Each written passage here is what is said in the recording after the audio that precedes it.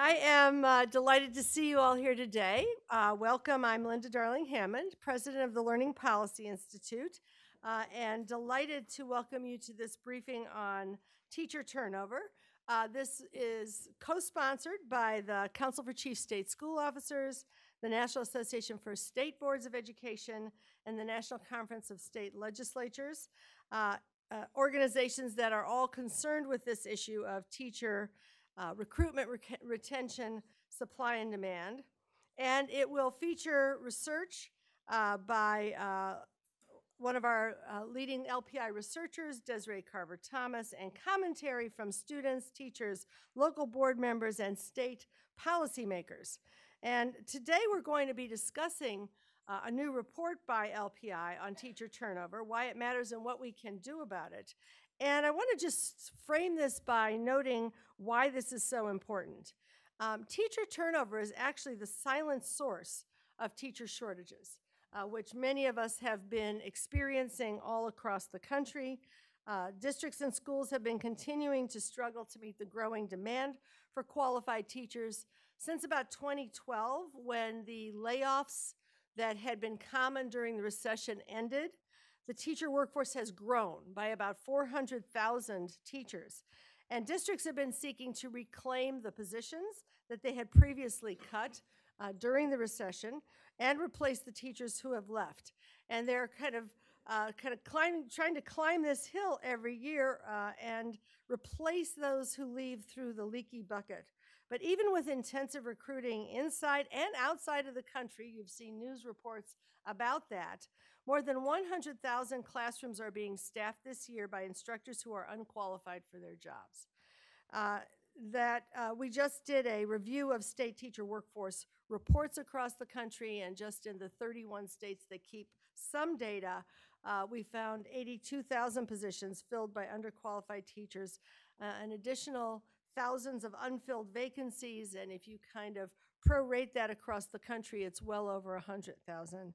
Um, vacancies filled by, pe by people who are not prepared for the jobs. And as we know, that's almost always disproportionately affecting students in low income schools, in high minority schools, the students who most need sophisticated skills uh, and capable teachers are the ones who experience the revolving door uh, of teachers who are both underprepared uh, and most likely to leave.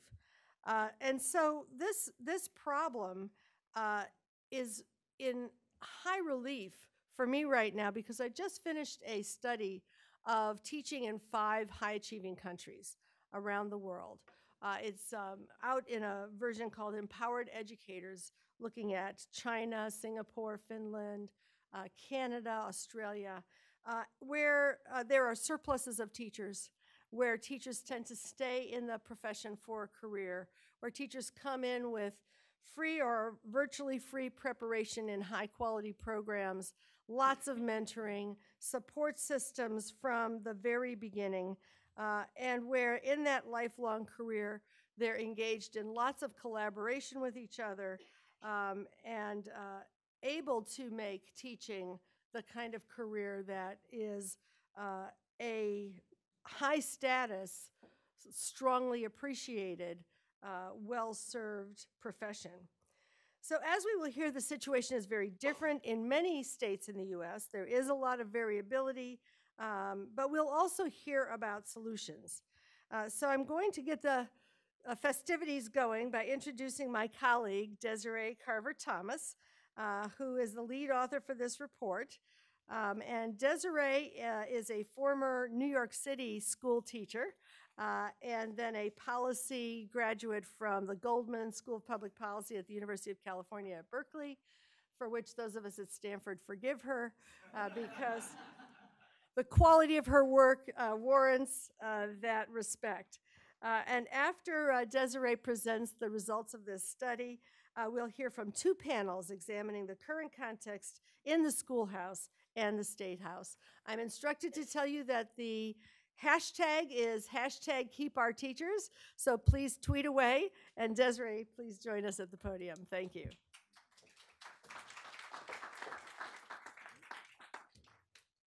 you. Um, good morning. Last year, LPI released a report, A Coming Crisis in Teaching, that investigated teacher supply, demand, and shortages nationally. And we found that there was a teacher shortage and projected that the shortage would worsen if uh, trends in teacher supply or demand um, didn't change. Uh, so, one of the driving trends that we, we found in that report um, was teacher attrition, teachers leaving the field. So we wanted to understand that better. Um, why do teachers leave their schools, um, either to leave the profession or to, to move schools? Uh, where does that happen, and how can we reduce that? Um, so we looked at the most recent uh, national survey data from the Schools and Staffing Survey and Teacher Follow-Up Survey to answer those questions. So this is what uh, one Washington, D.C. teacher had to say about why she left teaching. She says, over the course of four years, my school's administration steadily expanded the workload and workday while barely adjusting salaries. More and more major decisions were made behind closed doors, and more and more teachers felt micromanaged rather than supported. And as you'll see, the concerns that this teacher, Sarah, brings up are not uncommon among teachers leaving the field. But first, why does teacher turnover matter? So, one of the major reasons teacher turnover matters is that it drives shortages. So, like Linda mentioned, we recently estimated that schools across the country were short about 100,000 teachers last year. And we went through and looked at publicly available data from states on their underqualified teachers in, in classrooms. Um, and, and that's how we arrived at that estimate. Um, these are teachers who are often only able to be hired when a fully qualified teacher isn't available. So that's what makes it a strong indicator of shortages. And as the beginning of this school um, year began, we've seen news stories that indicate that in many states, shortages aren't letting up. In fact, in, in Metro Nashville, um, students had to take online courses um, because uh, the school district hadn't been able to hire enough math, science, uh, special education, career tech, foreign language teachers by the beginning of the school year. So this pie graph um, shows national demand for teachers in 2016. And the shaded red area represents um, the number of vacancies created by teacher attrition, teachers leaving the classroom. And as you can see, almost all of the demand for new teachers is due to teacher attrition.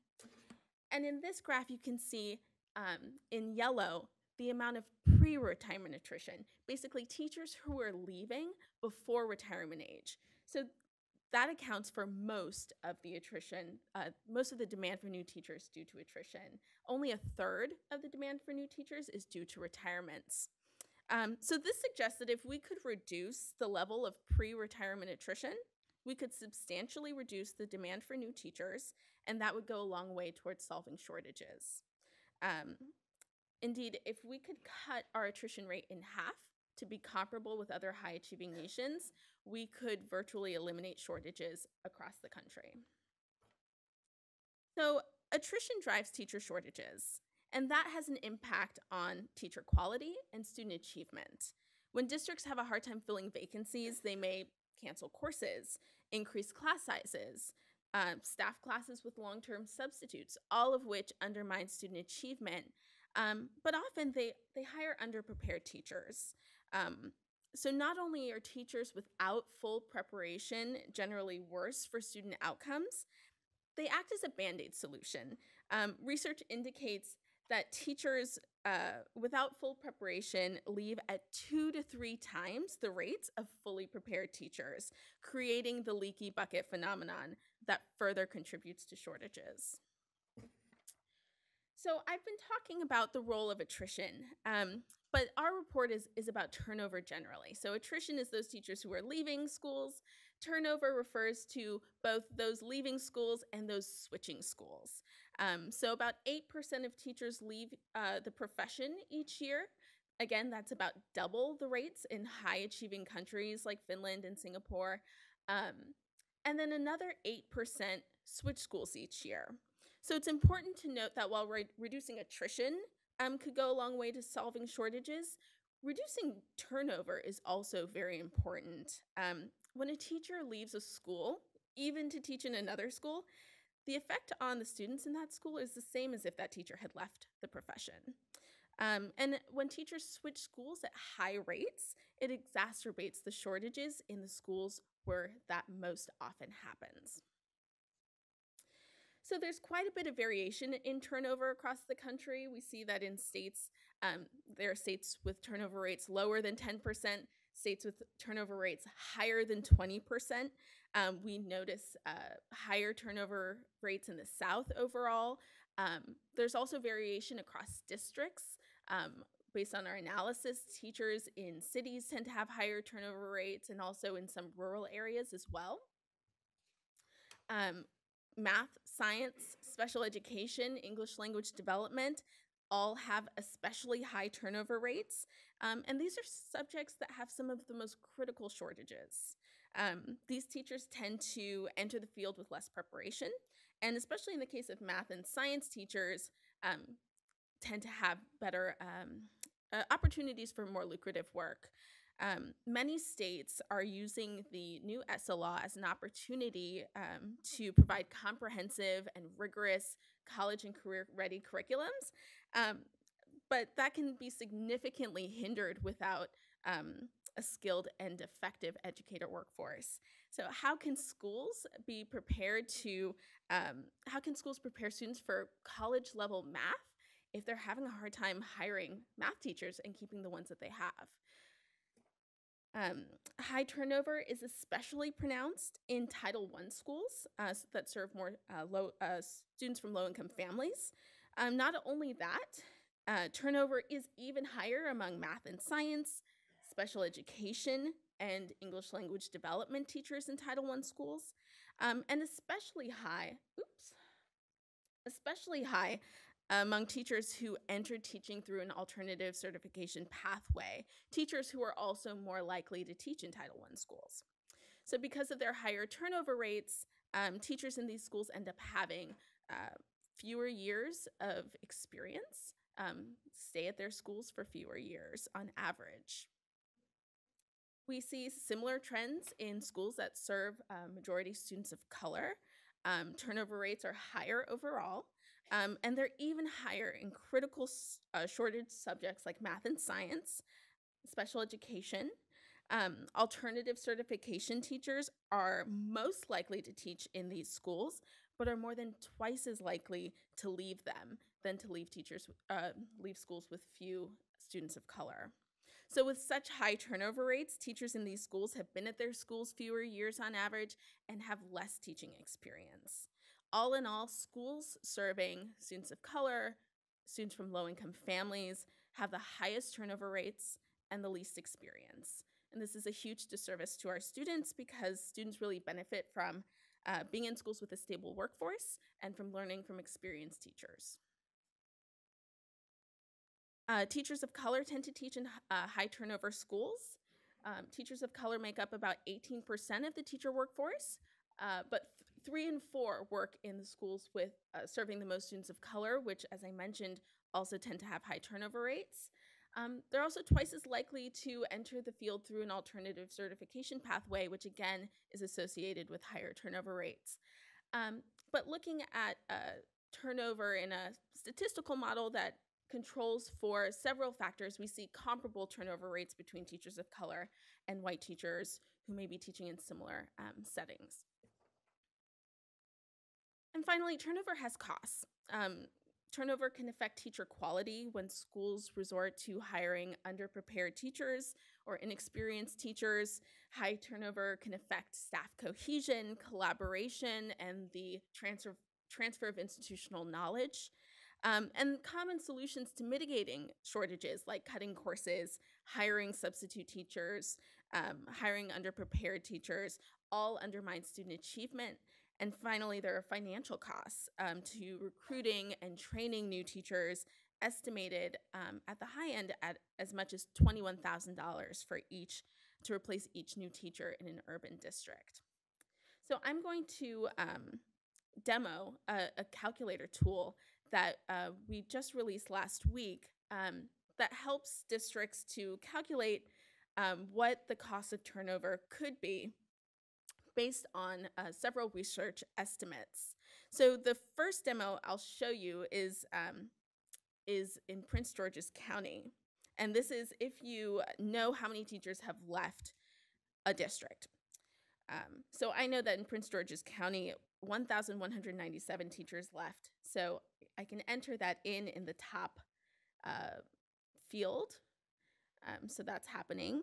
Um, and I don't know the cost of turnover in that district specifically, but I can enter an estimate based on uh, the research for either a rural district, a suburban district, or an urban district.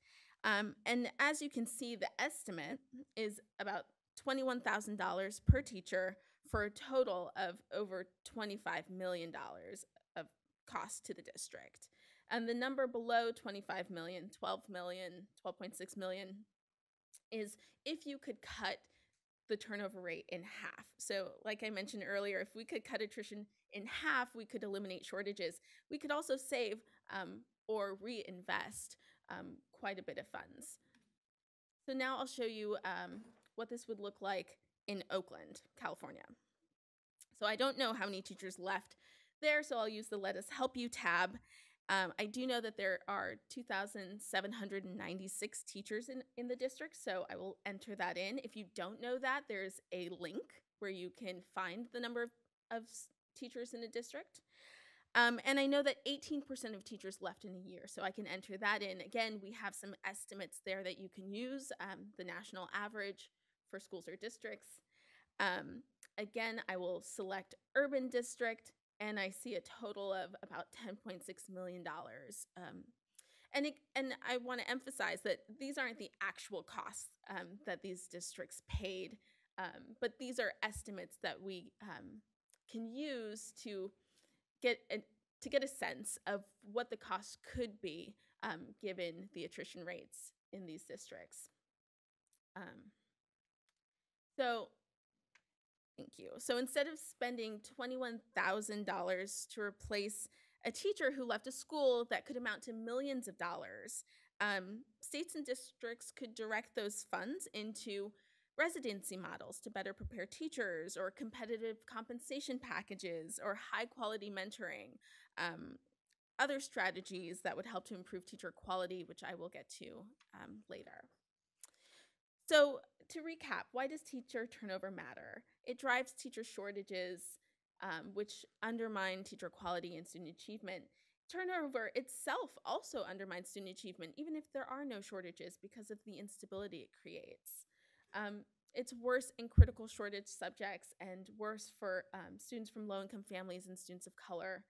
Um, and it has costs, financial and otherwise. So, now that we know it matters, um, why does it happen? Uh, based on our analysis of, of the survey data, we see that dissatisfaction plays a significant role in teacher turnover. Um, most teachers express some dissatisfaction with accountability pressures or with uh, administrative support or with the working conditions that they were experiencing. Um, next come family and personal reasons. Again, retirement is just a, about a third of the reasons why teachers leave. Um, they leave to pursue other jobs and for financial reasons. Um, we see a similar trend uh, for teachers who move schools, with even more uh, citing dissatisfaction of some sort. Um, so, if teachers are leaving the field uh, and switching schools because they're dissatisfied, states should consider how to uh, improve those conditions. One of the key areas that teachers express dissatisfaction with is administrative support. And we find a significant relationship between administrative support and uh, teacher turnover. When teachers feel strongly that their administration isn't supportive, isn't encouraging, they're more than twice as likely um, to leave teaching or move schools than when their administrative administration is supportive. Um, Preparation also impacts turnover. So, again, in a model that holds uh, several factors constant, um, teachers who enter teaching through an, an alternative certification program were 25% more likely to turn over than other teachers.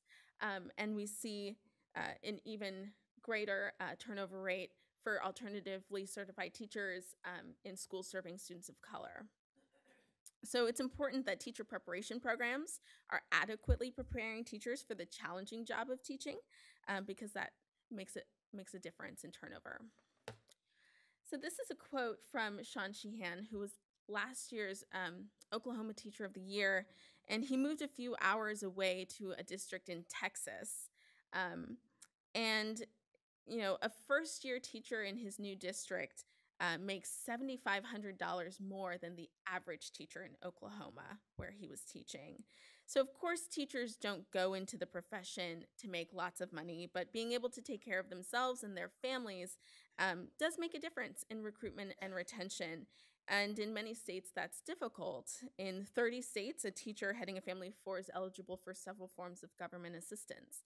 Um, so compensation matters. And we see this again in our model um, that teachers uh, who in districts that offer higher salary schedules have turnover rates 20 to 30% lower than districts in um, teachers in districts with the lowest salary schedules.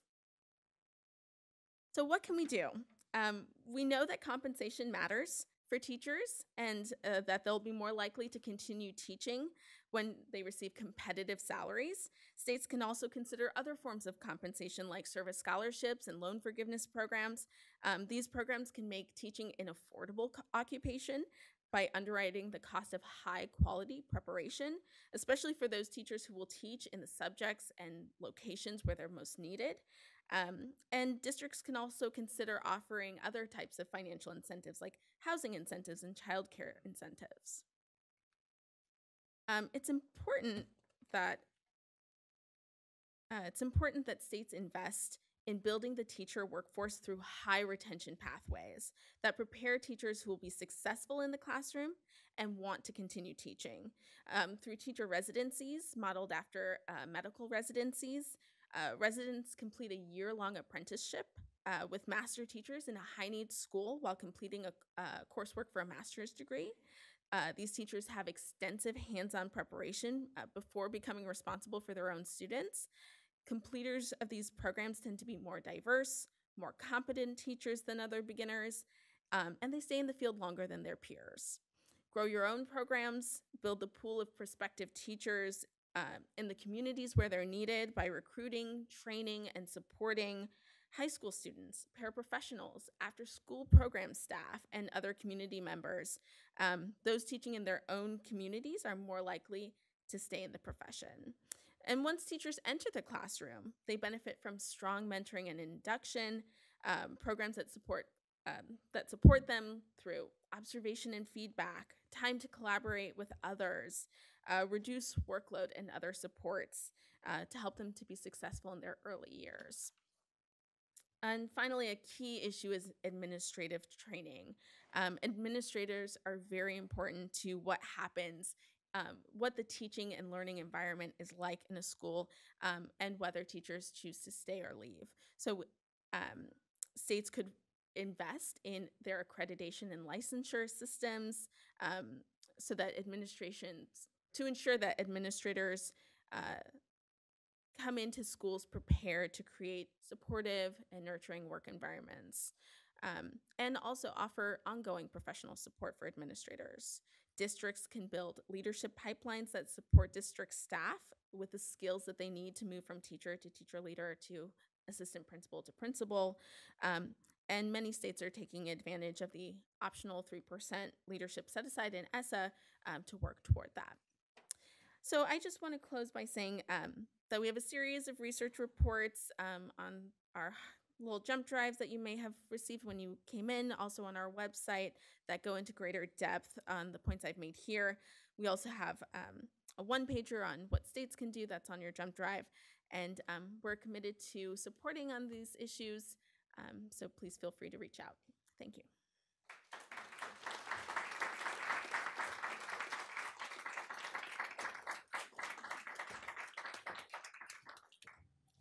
Thank you so much. Um, we're going to be joined now by my colleague Jessica Cardichon, who is director of our DC office here and our federal policy initiatives. Jessica also taught in New York City and then uh, actually worked in Congressman and Senator Bernie Sanders' office before she meandered her way over to the Learning Policy Institute. So we're delighted to have Jessica who will help moderate the panel and introduce the rest of the panel.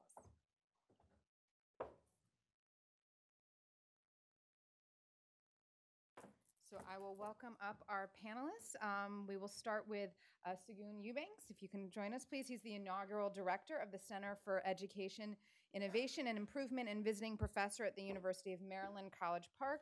Dr. Eubanks also served as, serves as the chair of the Board of Education for Prince George's County Public Schools, 132,000 student school district bordering Washington, D.C. Uh, we are also really excited to have Antonio Iglesias, who is a earth science teacher. It's very hard at East Side High School in Newark, New Jersey, where he taught for the past six years, and he's a graduate of the Newark Montclair Urban Teacher Residency Program. And last but definitely not least is Nyla Williams, a student leader and board member with the California for Justice uh, in Oakland, California. She's currently pursuing her high school diplom- diploma through Gateway to College at Laney College and plans to become a teacher. Really excited about.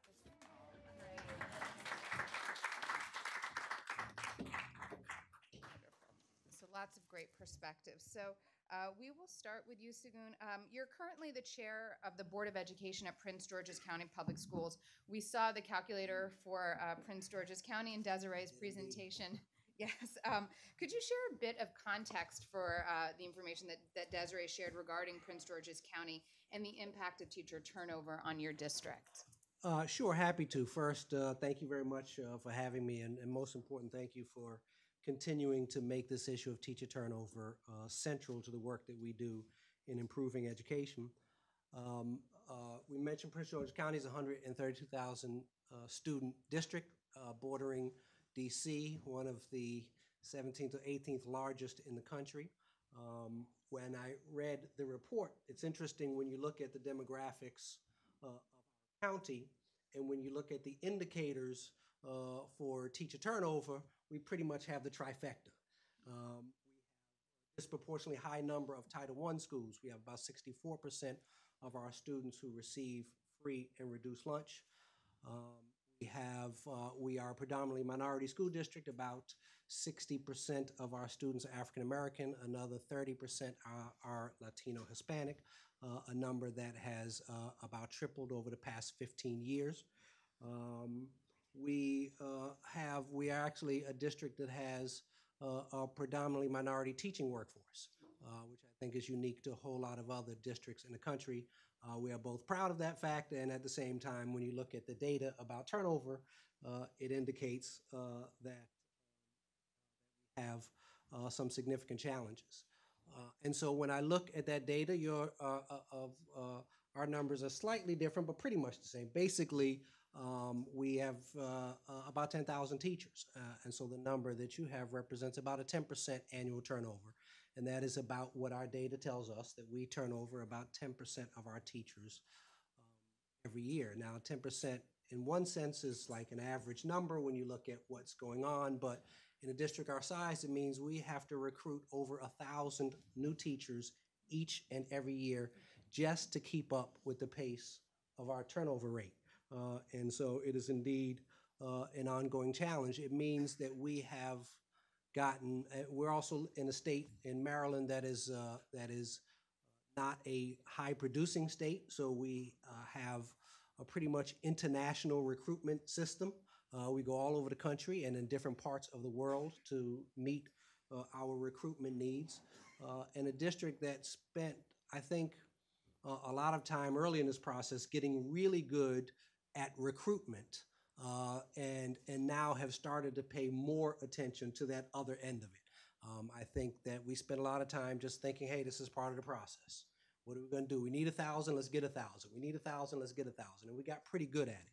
Um, but, uh, but we started to need to pay significantly more attention uh, to how we keep the folks who we get. Um, my, my only other thought, when I look at that number, 25 million, uh, it is fair to say um, if we cut retention in half, as a school board member, I salivate about what I might do with $12.5 million. Uh, we are currently in negotiation with our employees now. Uh, the recession hit our county hard, uh, and we have recovered at a slower rate than the rest of the region. Uh, so our, uh, our employees are pretty far behind in the salary schedule, and $12.5 million represents pretty close to about a full step in salary for our workforce. Um, Uh, When I look at things like, uh, we have 209 buildings. We have some of the oldest buildings in the state of Maryland and around the country. Uh, We have a multi-million dollar maintenance backlog. But I wouldn't do with $12.5 million just to hire a second shift of maintenance so that people can fix our building. This is not to mention the new buildings we have to build. This is just to keep the ones that we have running.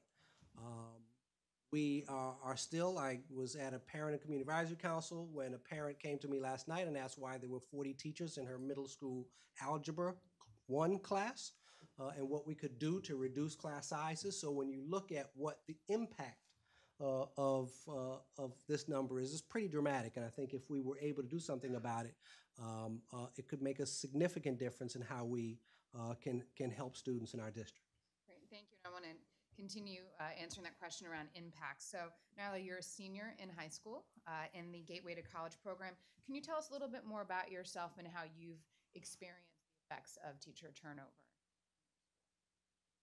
Um, well, in a public school for almost more than three years, um, I especially uh, remember a lot of it in my freshman year. Uh, freshman year is usually it starts off really unorganized. um, it's your first transition to high school. You're not really prepared, so the last thing you want to see is the teachers. But that was my experience. Um, I had this uh, pre-algebra teacher who only lasted two weeks. Um, she was clearly she was clearly unorganized. The class was unorganized, and um, put the students in check. She wasn't in check either. So eventually, she she ended up slapping one of the students. And a few days after, she she resigned. Uh, before she got fired, I guess. But um, clearly, uh, the reasons why she left was like she says that she she wasn't really ready. She, she had a lot of kids. She was tired. She didn't want to do all the grading. So um, it was clear that she just wasn't prepared to be a teacher. At the time, I wasn't in Californians for Justice, so I was kind of questioning, well, how did she become a teacher?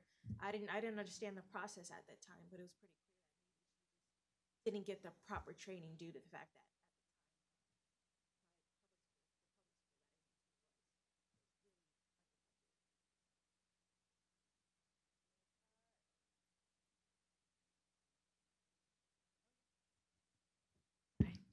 If everyone can make sure the red light is on and just pull the microphones a little closer.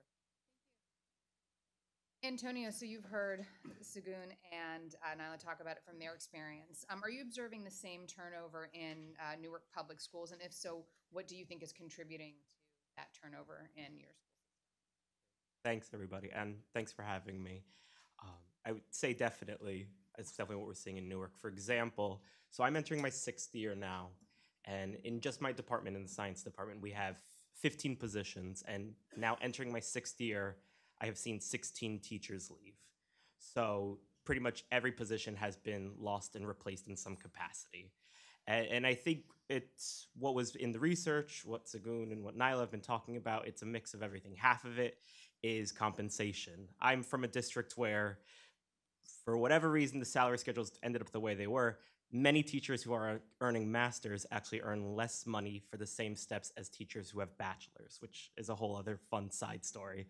Um, beyond that, it's a lot of, as Desiree was saying in the research, we we all have science backgrounds, especially. So we are leaving for these lucrative positions. We are seeking opportunities that cater to our needs because we've really invested in this world of science, and we want, especially as I do as a teacher, I want to share that world of science with them. But uh, the reasons for us staying become less and less, and also echoing this idea of administration, where um, and I think it's also compounded by the fact that when you have many new teachers on top of it, now that same administrator has to cater to the needs of many new teachers. And then the exhaustion of these resources, where on top of it, if the administrator is not prepared, now on top of it, they're catering to many teachers who aren't prepared. And it, it just becomes this feedback loop uh, to the point where it's like, you know, Defense of the Dark Arts and Harry Potter, and it's just every year it's a new teacher.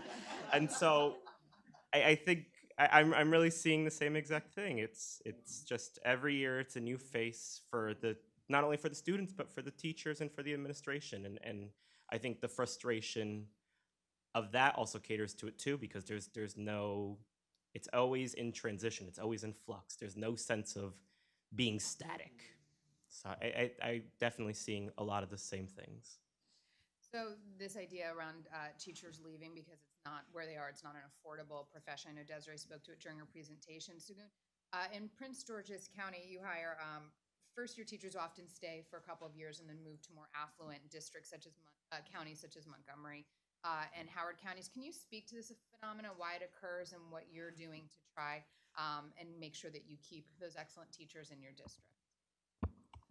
Sure. Uh, yeah, that is a phenomenon that we've uh, dealt with for a long time, particularly in the in the Washington D.C. uh, know, A lot of perception and then some uh, combined reality. Uh, and the fact is that we do have seen. I can tell you, there's a lot of movement in between counties. Uh, again, just this week, I met with a teacher who left for D.C. Who, because the salary was higher, um, but liked the working conditions back in Prince George's County and came back for a pay cut um, uh, to come back to the county. Uh, so, so part of what our struggle is, one is clearly one of, of compensation. I mentioned, uh, I mentioned that we're significantly behind our colleagues uh, in other counties.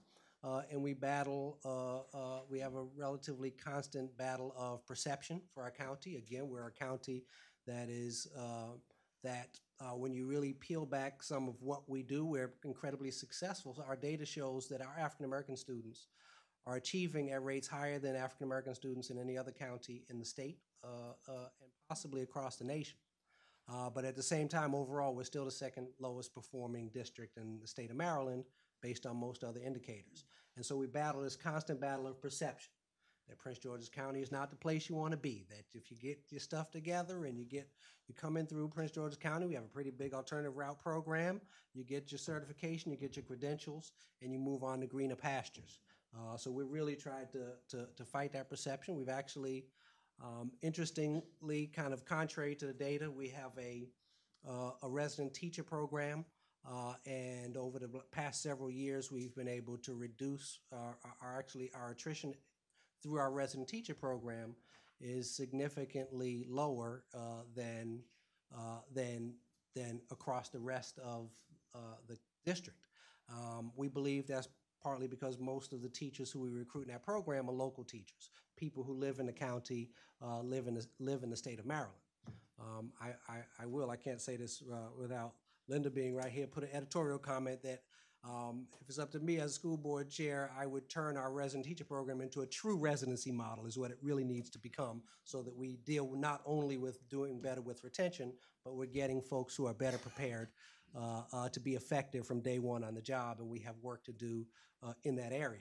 Uh, but those are kind of just a few of the ways in which we kind of continue to struggle. I will mention we've tried to be creative with that. A couple few years ago, we started a middle college program uh, in the health sciences. Uh, and, uh, and we've had our second cohort of graduates who graduate from high school and community college on the same day. It's a great program, and this September, we launched a new one specifically related to careers in teaching and education. We're very proud of our Teaching Career Academy. Uh, and so we have our first cohort of 50 students who just started as freshmen uh, in our Career Academy with the idea of really building grow your own programs and having gra- graduates who graduate four years from now with both uh, a high school diploma and uh, uh, an associate's degree on their way to careers in teaching. So we're trying to do a lot more to kind of keep, uh, build good, grow your own programs. Great, thank you. And one of the efforts that you described was the residency program. Antonio, you're a graduate of the Newark Montclair Urban Residency Program. Can you talk a bit about how that program prepared you for teaching? Uh, and did it have any influence on your decision to Um, so yeah, thanks for Segun for hyping up residency programs before I speak. Um, I, it's it's very multifaceted. The really amazing experience that I had with my residency, and so just to really clue people into residencies, and, and Desiree sort of primed it as well, is this idea of sort of like a medical residency, but with teachers instead. And so we travel as a cohort. Uh, my cohort had eight of us. Um, and we were individuals who were in the schools from day one with our mentor teachers, and we took classes together, and we were a small community. And I think that's one of the cornerstones for why we felt so prepared, first of all, was just support. This idea that we knew people that we identified with, we were always placed with them. So they would try to put us in pairs or trios in schools so that when we were placed, we had familiar faces that we could rely on as resources. But beyond that, it's really about the philosophy of the program that I was in. So it was only math science education. So, first off, really trying to hit that niche market of areas that tend to not be well prepared. But on top of it, uh, well, actually, just to elaborate on that, it, giving the sense of changing also the, the way you teach science. So it becomes inquiry driven, it becomes student centric. This idea, this paradigm shift of you are no longer instructing students about rote memorization, but you are trying to put the ownership with the students as well.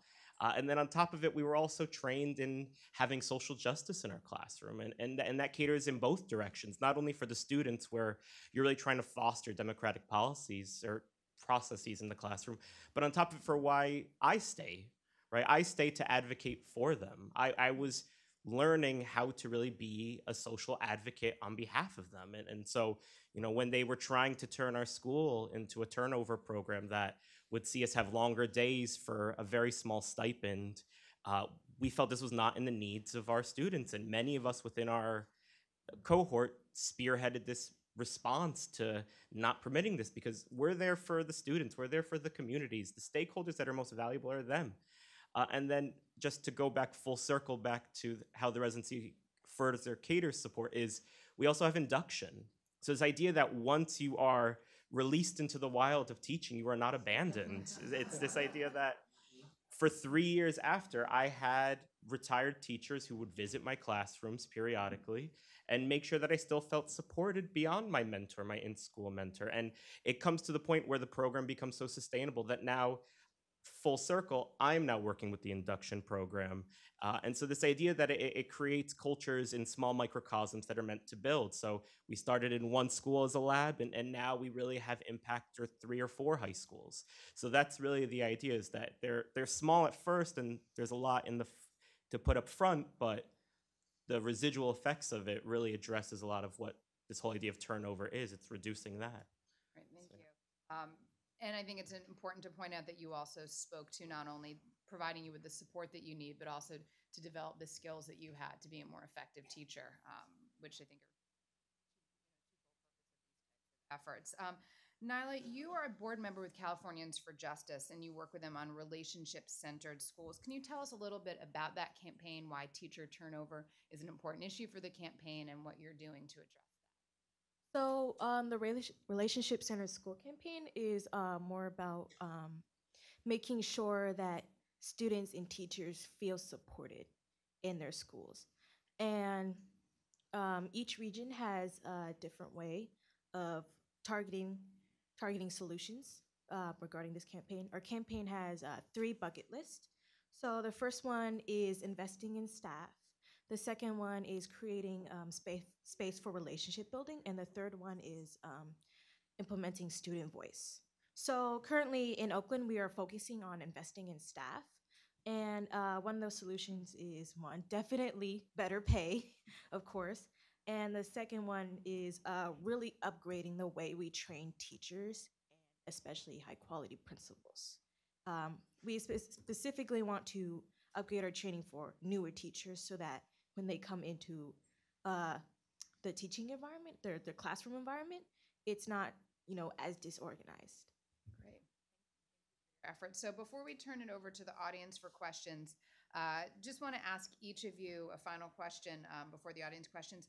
Uh, what's one thing that you think it's important for our audience to understand regarding the impact of teacher turnover from your perspective as a school board member, a teacher, and a student? So maybe we'll start with with Nyla. Oh, yeah. Um, if there's one message you want the audience to kind of understand around the impact of teacher turnover, what can be done about it, what would you like to share with them? Um, well, for an example, as an impact, um, a definite impact for uh, teacher turnover. turnover. For me, uh, I had some good teachers in public school as well, as one of them was uh, a history teacher of mine. And she uh, kept the students in check. She checked on their grades. She had a positive relationship with them, and she she um, made the classroom environment very comfortable in a way where the students were able to um, learn good habits that they needed to learn in life more than just in school. So I feel like, you know, teachers like that um, are need to be more like more into teacher training. We need to have teachers like that into teacher training so that we can have teachers like that able to stay in the district because those are the kind of teachers that that they stay there and they really build a positive relationship. I feel like every student, like the teacher I had, every student should have a teacher like that.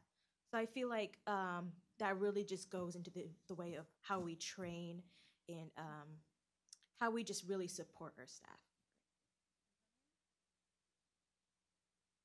So I, I think for me, from hearing just the comments, and I think the big challenge when you're teachers, you're just so in the realm of teaching that you forget that there's this whole world existing outside of that. And I, I think with teacher turnover, it's just this reminder that it impacts everybody. It impacts the students who are there, obviously. That's the most direct impact, but it impacts the teachers who stay and, keep witnessing the frustrations that both you have and the students have.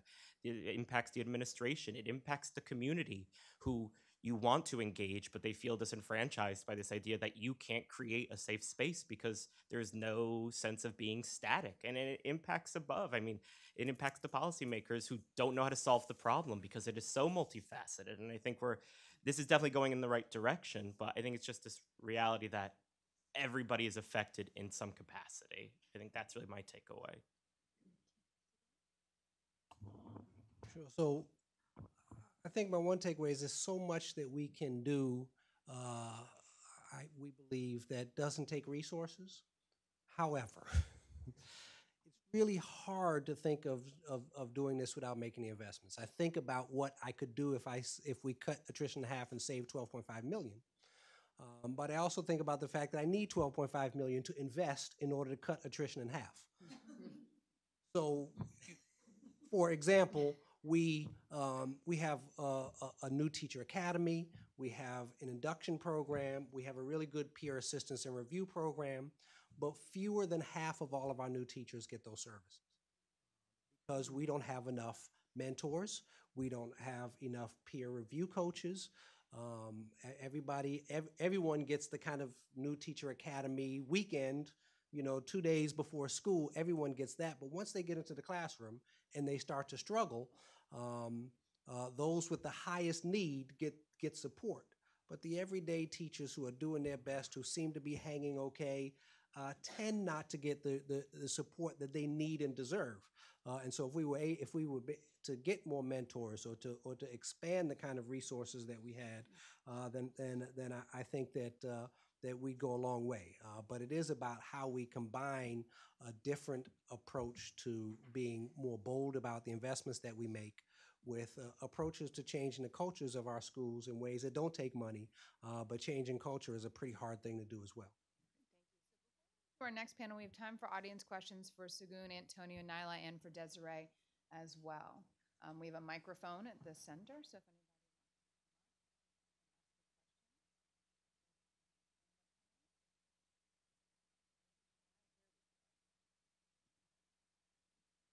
anybody. I thoroughly enjoyed the presentation, excuse me, today. I find it very, very exciting.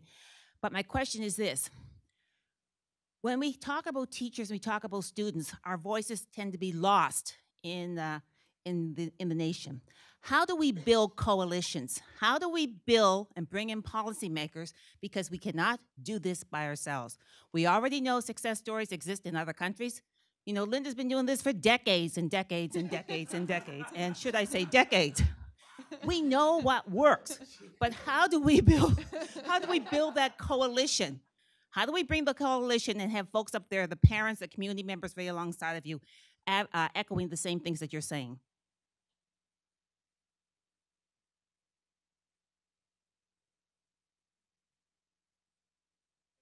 Yeah, sure, why not? Um, so, I mean, that's really that's the number one challenge right now is how do you get your voices heard, and and it's just focusing on publicizing as best you can, and, and you have to start small. I mean, we have very strong ties to the councilmen in our area, um, and really trying to get the sense of creating neighborhood schools again and making it a community where you start small and you have to keep advocating. I mean, that's all it really comes down to, and, and it's exhausting and tiresome. And but you have to work and finesse the networks that you have. I mean, I work very closely with Montclair State, um, and I will forever use them as my advocates. But you have to find those people who are willing to speak up because I mean, and it's weird because especially from Newark, New Jersey, we received that Facebook money all those many years ago, and it went to nothing. Um, basically, it went to administrative costs, and it went. It found many ways. So I, I think it's it's making sure that the message is heard of where the money should go to, and reinforcing that that it, it should be going to preparation. It should be going not necessarily more bottom up than top down because I think that's our frustration. But how to get that message heard, that's been the frustration since at least I've only been in it for seven years, day one for me. But um, that's what I've seen ever since my journey has begun.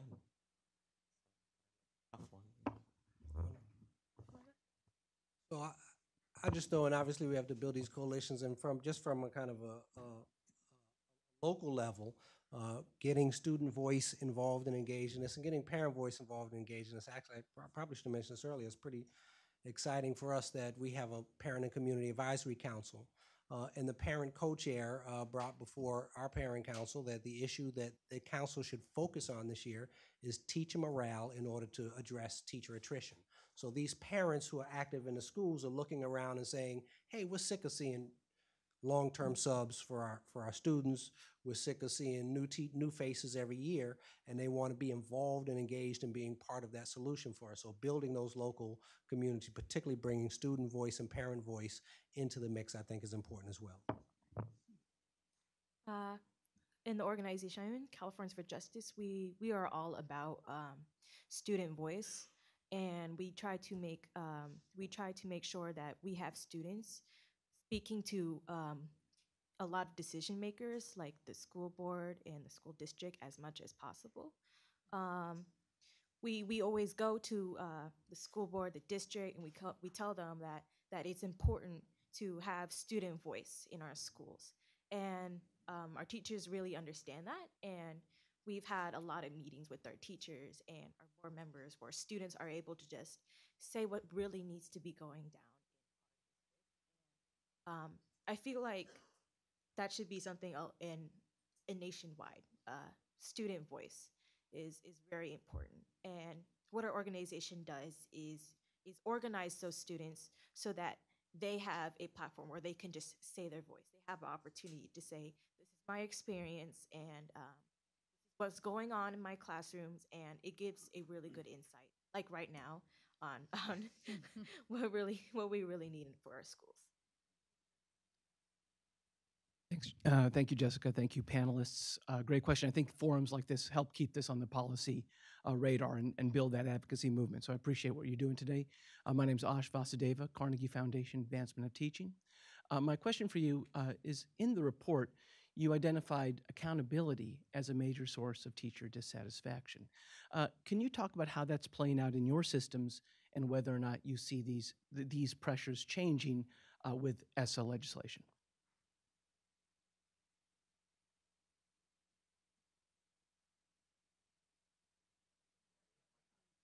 So I guess from what I'm gathering from the report from accountability, it has to do basically what's expected of us on the day to day. And there was that one slide where it talked about, you know, I think it was that first one that really hit hardest for me, which is this idea of this.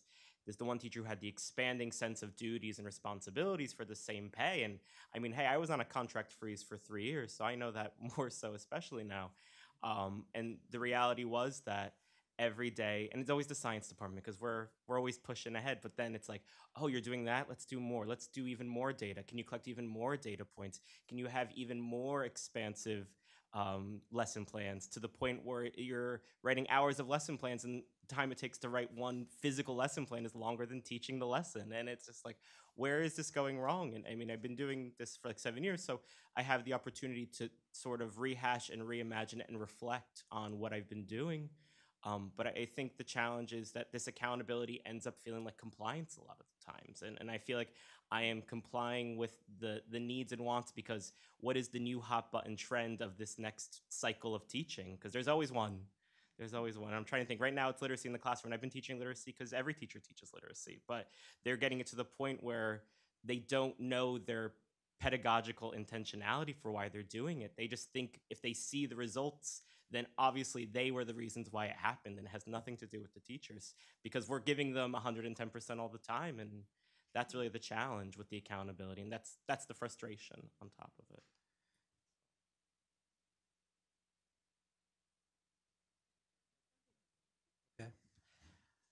Um, so I think number one, you bring up a really good point, Ash, because um, uh, when I when I looked at a lot of what we've learned about teacher turnover isn't particularly new. The accountability pressures that are that are in this data, I think, is is showing uh, that just as many of us have suspected, particularly those who represented teachers for so long, that the accountability pressures are having a significant impact on teachers' willingness to stay in the classroom.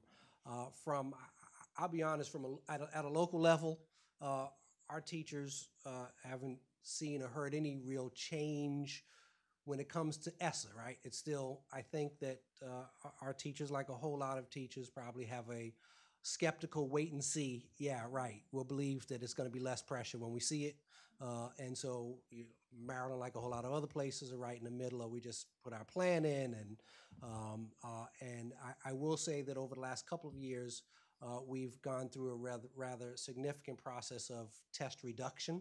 Uh, a, a lot because of what we've heard from teachers and parents that said this test thing is getting out of control. Um, uh, and we've, uh, I forget the number, I think we're, we're at about 15 or 16 percent less time in testing this year than we were last year. Um, uh, and so hopefully that will begin to address it. Uh, but I think really the jury is out on, on the impact that ESSA might have on teachers. I'm Saroja Warner with the Council of Chief State School Officers, but I'm asking this question as an advocate for children and communities right now. Um, Segun, I want to come back to a comment you made earlier because it really spoke to my spirit when you called out that this work can't be done pro bono and for free. It will require an investment of resources. And so I'm really curious to hear, I think particularly from you, Segun, and where you sit in your experiences working in Prince George's County, about how this question of stakeholder engagement, I mean, this is bigger than this. This is about being able to see where people's priorities are by where they invest their resources. This, for me, is a civil rights issue at its core. I look at this data, thank you, right? I look at this data, and these are the, the students who are living on the margins and their families who are most impacted by what is happening with teacher turnover. So, how else do we make this argument that there is no greater public good right now that we need to be investing in than in solving this problem? S- Saroja, you, you can answer the question too if you want. Feel, yeah, feel free, sister. I mean, um, I, look, I'll just say briefly. You know, I've been on on the board for four years and had a long thirty year career uh, in education before that, and this is no joke when it comes to how we look at issues of, of investment. We tried in Prince George's County to get bold uh, and put a huge tax increase reform in that was going to dramatically be able to, to, to increase compensation for teachers and, and put in, and it crashed and burned quicker than anyone can imagine, and we're still uh, recovering uh, from that. At the same time, with you know, it, it's it's always a very heated debate. We you know we do we still have a we have a 1.9 billion dollar budget, uh, and so uh, our teachers are telling us right now use what, what use what you got to give us what we need. Uh, and it's a reasonable argument, and we're kind of uh, kind of it's always a, a kind of back and forth about how you um, uh, about how you can make uh, make these tough choices. Uh, I will just say, you know, our, our data shows that while we're, you know, we think that given our circumstances, we'd do pretty good at teacher turnover.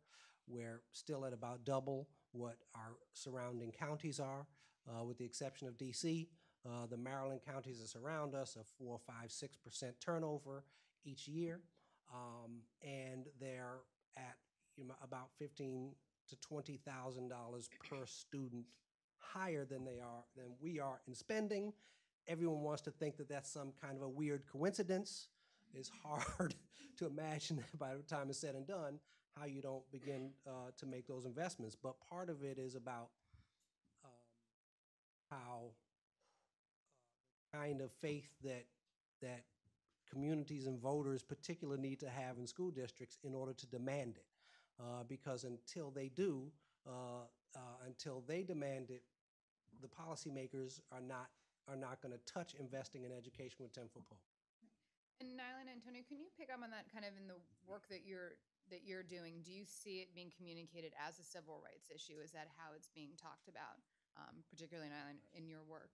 and Yeah, I mean that was the whole foundation of why the residency exists the way it does. It's it's really to become agents of change and to create these voices for the students, and that's why we are about f- fostering democracy in the classroom because we we got to make sure that they are the voices that get to be heard um, as the key stakeholders and recipients of education. Because if it's not for them, then for whom else? So I, I just to briefly address it, yeah, absolutely. Um, I definitely think it is a uh, civil rights issue. Um, it's pretty clear that um, many of our teachers uh, are really struggling because the lack of, you know, the perception that it's just really lacking support to our teachers. People have a really poor perception on teachers. So um, definitely, uh, how how are we going to fix this? Is to shift our perceptions that we have of staff and teachers, um, specifically to more like a more supportive perception. Um, I know uh, in in Singapore, their teachers they're called nation builders, and because they're they're they're moving their knowledge, they're giving their knowledge about their nation to to the next generation, and I feel like we should really have that perception on teachers, like our districts. Good morning. Um, before I ask my question, I would like to preface by saying that I just graduated from high school, so, and I actually attended a Title I school in Colorado, one of the lowest performing academic um, environments in the state of Colorado, predominantly Hispanic. And um, in my experience, I had six different principals over the course of four years. So the turnover was actually um, more experienced at the administrative level. Um, and it felt, um, I know that you guys talked a lot about the residency programs for teachers and how to support our teachers, but I feel as though um, this is really kind of like an inverted pyramid. Um, our uh, legislators at the state are in, in, in, I feel as though they're not in touch with our nation or like our leaders uh, at the national level and our state uh, leaders aren't in touch with our school boards. Our school boards aren't in touch with our teachers. Our teachers aren't in touch with our community and our parents which leads to the students. Therefore it is a, a, chain reaction. And i feel as though um, i just i would like to know um, in your experience as an educator as a student and as a uh, member of school board what we can do to prepare our administration. Um, i had a lot of administrative members who never stepped foot in a classroom. Um, policy was being made um, in a way that I think um, it said, yeah, let's have community forums, let's talk about this. And we did put our input, but it was never actually implemented. And so a lot of these things look great on paper, um, but they're not actually being enforced. Um, and um, yeah, so I was just wondering um, that because um, I um, am very, very passionate about it, and I just feel as though a lot of administrators, a lot of teachers, and a lot of policy members um, basically just use these Title I schools as a stepping stone for their career, and not really because they're invested in the civil rights aspect and in the actual community. So. yeah. Questions? No, Uh, it's about- it And I have to follow Right. that. So we do have time for Rob's question, but maybe we can talk just around kind of maybe the administrative support around what some efforts maybe you're doing around keeping administrators uh, in the district as well. Sure. I mean, it's just, if if if we did the same study on administrators, I think we'd find uh, we find some some similar work in. Uh, in Prince George's County, we have we we work with the Wallace Foundation for the past five years on on effort to uh, to support principals. Um, I think it's interesting when we've done uh, um, a lot and actually been nationally recognized for the kind of leadership development work we've done. Uh, we still have work to do when you look at some of our feedback from our, our survey. numbers of teachers who don't feel supported by their principal is, is remarkably high. But how we support and, and sustain uh, our, our leaders is, uh, is equally uh, as important to this effort. Uh, and, and I, and I, I would just say, the way we deal with teachers and administrators traditionally in public schools is we don't, don't pay you for your hard work. So the, our reward structure is that you move to easier jobs. That is still the primary structure. And so, of course, you start at a Title I school as a teacher, and you cut your teeth as a new teacher in a Title I school. Uh, and when you've gotten some experience and some seniority under your belt, you move to an easier school. And principals are doing the same thing.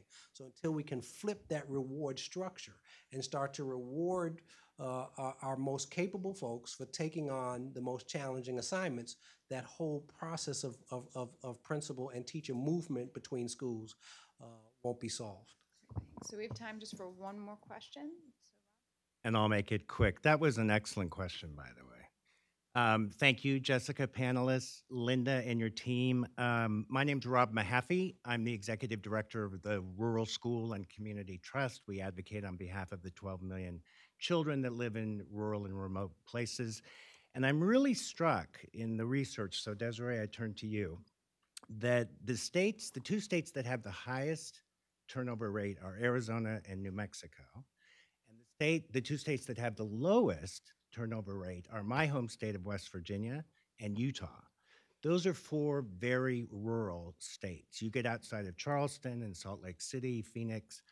What are you seeing in the data that makes a difference in rural communities? Because we know that rural teachers tend to be their, their lifers.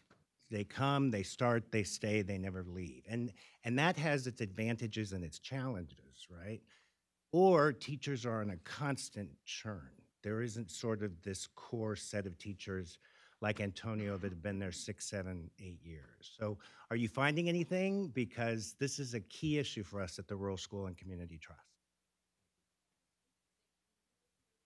um, pretty consistently that um, schools in cities have higher turnover rates, no matter what region you're looking at.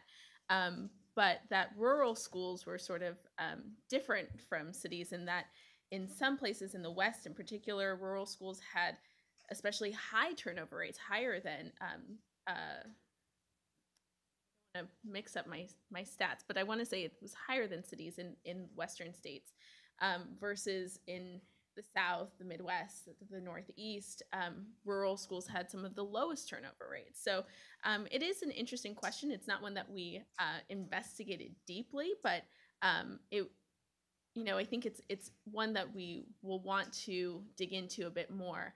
Um, you know, it's hard looking specifically at you know specific state data using the the source that we were looking at, um, but regionally, um, that is that is. Uh, something that we noticed.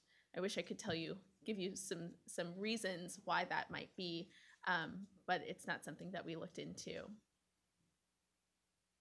I'd like to thank our first panel for setting the stage on what this looks like in practice, and we will now turn over to our policy panel, who can talk more about the solution side, um, although that can help support actually the solutions that you're implementing at the local level. So thank you all very much.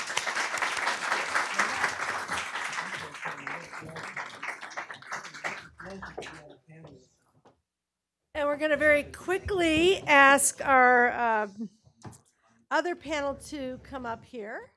Thank you, Maria, for uh, shifting all the nameplates. Uh, First, I'm going to ask Representative Sharon Tomiko Santos. Thank you.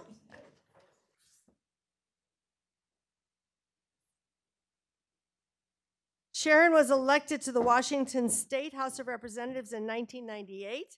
She serves as the chair of the House Education Committee and on the Washington State Educational Opportunity Gap Oversight and Accountability Committee. She is former vice chair of the National Conference of State Legislatures Education Committee, on which she still serves. Uh, we greatly appreciate her coming all the way out here from the left coast to join us today. Uh, second, we have Seth Gerson, who is the program director for the National Governors Association Center for Best Practices. Seth serves as the program director in the Education Division of the National Governors Association. Center, where he works on early childhood and K 12 education issues. He, before that, was on the Hill for a long time as a staffer uh, with the National Board for Professional Teaching Standards, deeply steeped in these issues. He has written some of the best parts of the ESSA, so I just want to uh, give him a little credit for that. And then we have State Superintendent Steve Staples, uh, who is the state superintendent in the Commonwealth of Virginia, the great state of Virginia. Uh, Steve was appointed Virginia's 24th superintendent of public instruction by Governor Terry McAuliffe. Uh, as superintendent, he serves as the executive officer of the Virginia Department of Education, which oversees the Commonwealth's public schools. He's been doing some really creative and innovative work uh, in the state around the reconceptualization of education under ESSA. So I hope we have a chance to think and talk about that a little bit. Uh, so I am now going to join you so that we can have a conversation. I want to start with the context that we're now in. I was reflecting on the fact that in 1992, the attrition rate for teachers in the United States was 5%. It's now about 8%. So it's significantly increased over that period of time. Uh, and a lot of things have changed in that period of time. Uh, we have, uh, as we've heard, uh, preparation matters a great deal to uh, teachers staying in the profession. We have many more teachers entering without full preparation today than we did in 1992. Some of the earlier data showed that fully prepared teachers would uh, leave over the course of their first five years at the rate of about 14%, and uncertified teachers would leave at the rate of about 49%. So huge differentials. And we have now about a quarter of our teachers entering the classroom without full preparation uh, each year. Uh, mentoring matters. Teachers who get strong mentoring uh, stay at much higher rates. The number of teachers, according to federal data, getting mentoring now is less than it was a decade ago because of the cuts that occurred during the recession. So now only about half of teachers are getting mentored, which is, I think, roughly what uh, uh, Segun was saying in Prince George's County, as opposed to the fact that we were up over three quarters a decade ago. Uh, salaries have declined since the 1990s in real dollar terms. Uh, working conditions have declined because of the recession, larger class sizes, fewer uh, materials, instructional specialists. Um, and then there's been this issue of, um, you know, what some would call teacher bashing. A lot of discourse about the fact that the real problem with schools is just that we have to get rid of bad teachers um, rather than looking at many of the other issues.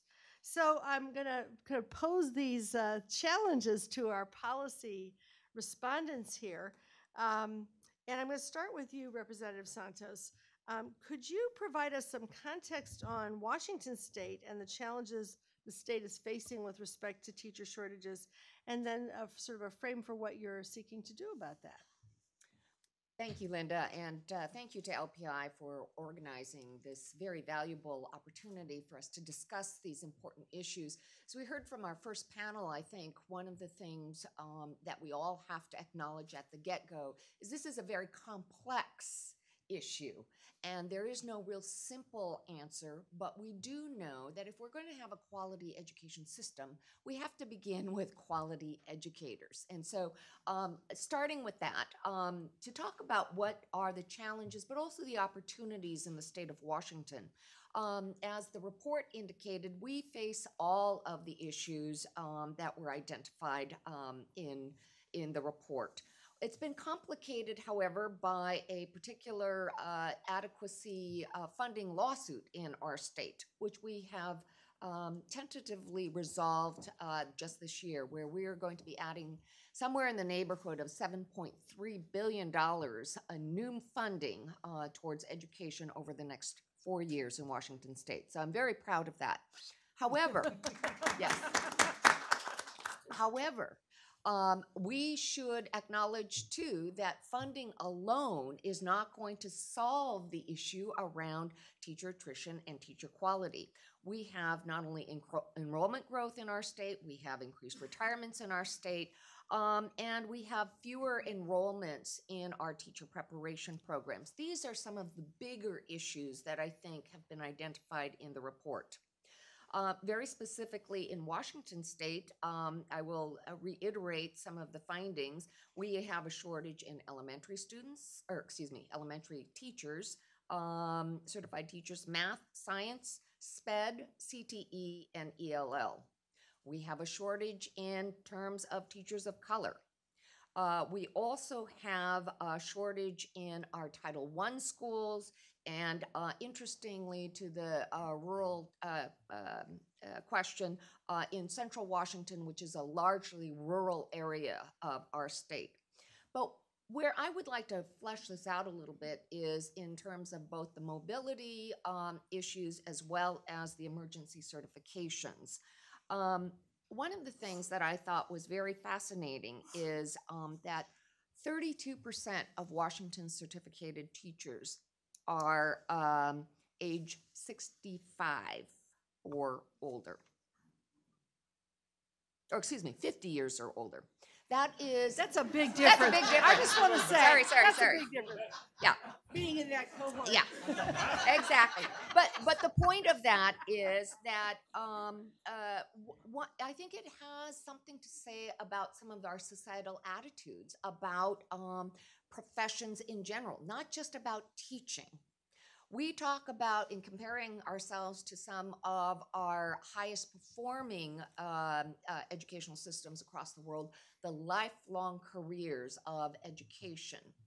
Well, when you take a look, and I'm going to speak to you as the grandparent and great grandparent of 38 um, children, and the uh, old and and the oldest grandchild is 40 years old.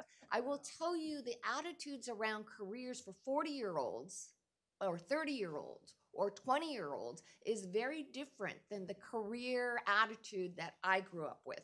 And so when you then think about the 45.5% of certificated teachers in Washington state who have zero to 10 years of experience, we're looking at a churning in our system that is not going to go away, largely because of social attitudes around careers that are um, uh, reinforced, I think, by um, challenge those that exist in our structure.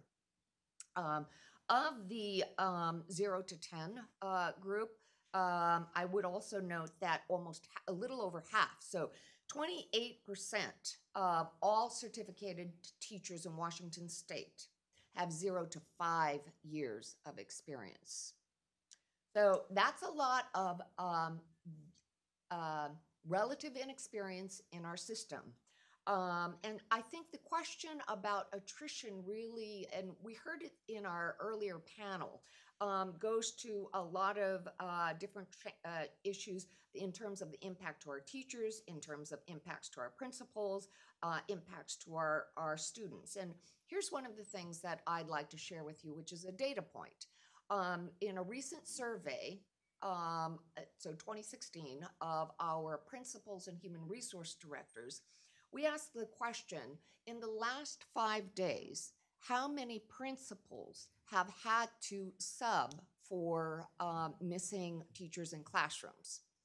61% of our principals said that they have had to sub in a classroom because they lack the certificated um, uh, teachers.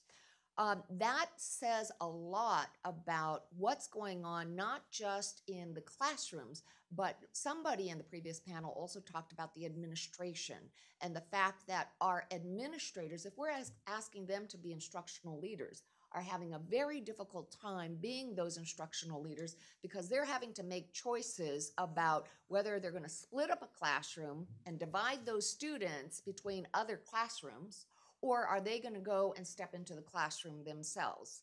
Um, I think that a couple of very choice um, quotes that I'd like to share with you, and I, I overprepared. So I'm rushing because I think there's some important things that I want to share with you, and I'm hoping that you will ask me questions afterwards.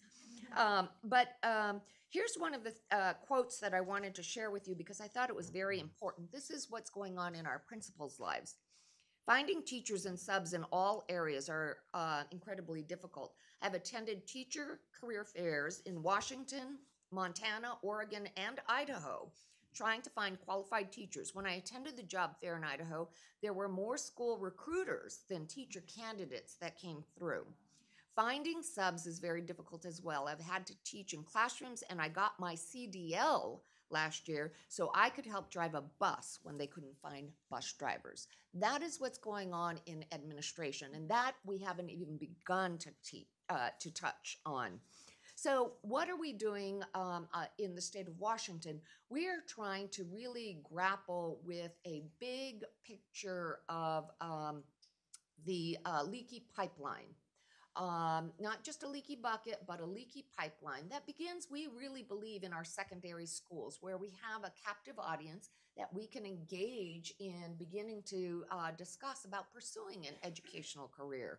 We also know that we can do a better job of working in our teacher preparation programs, whether they're offering the conventional or traditional certification programs, and I have some things to say about that if asked, um, uh, uh, into our, our K 12 classrooms where there is great need. And I would point out that in our state, um, we are finding that the great need is both in our highly urban areas as well as in our rural areas for very different reasons. And so, one of the questions that um, I think policymakers have to ask of ourselves is what is the right division of responsibility between state policymakers and our district policymakers, meaning all of you who may be in the audience who are elected school board members. In Washington state, we have 295 school board members, and they are the ones that um, uh, are often asked to make the uh, terrible decisions, both about funding,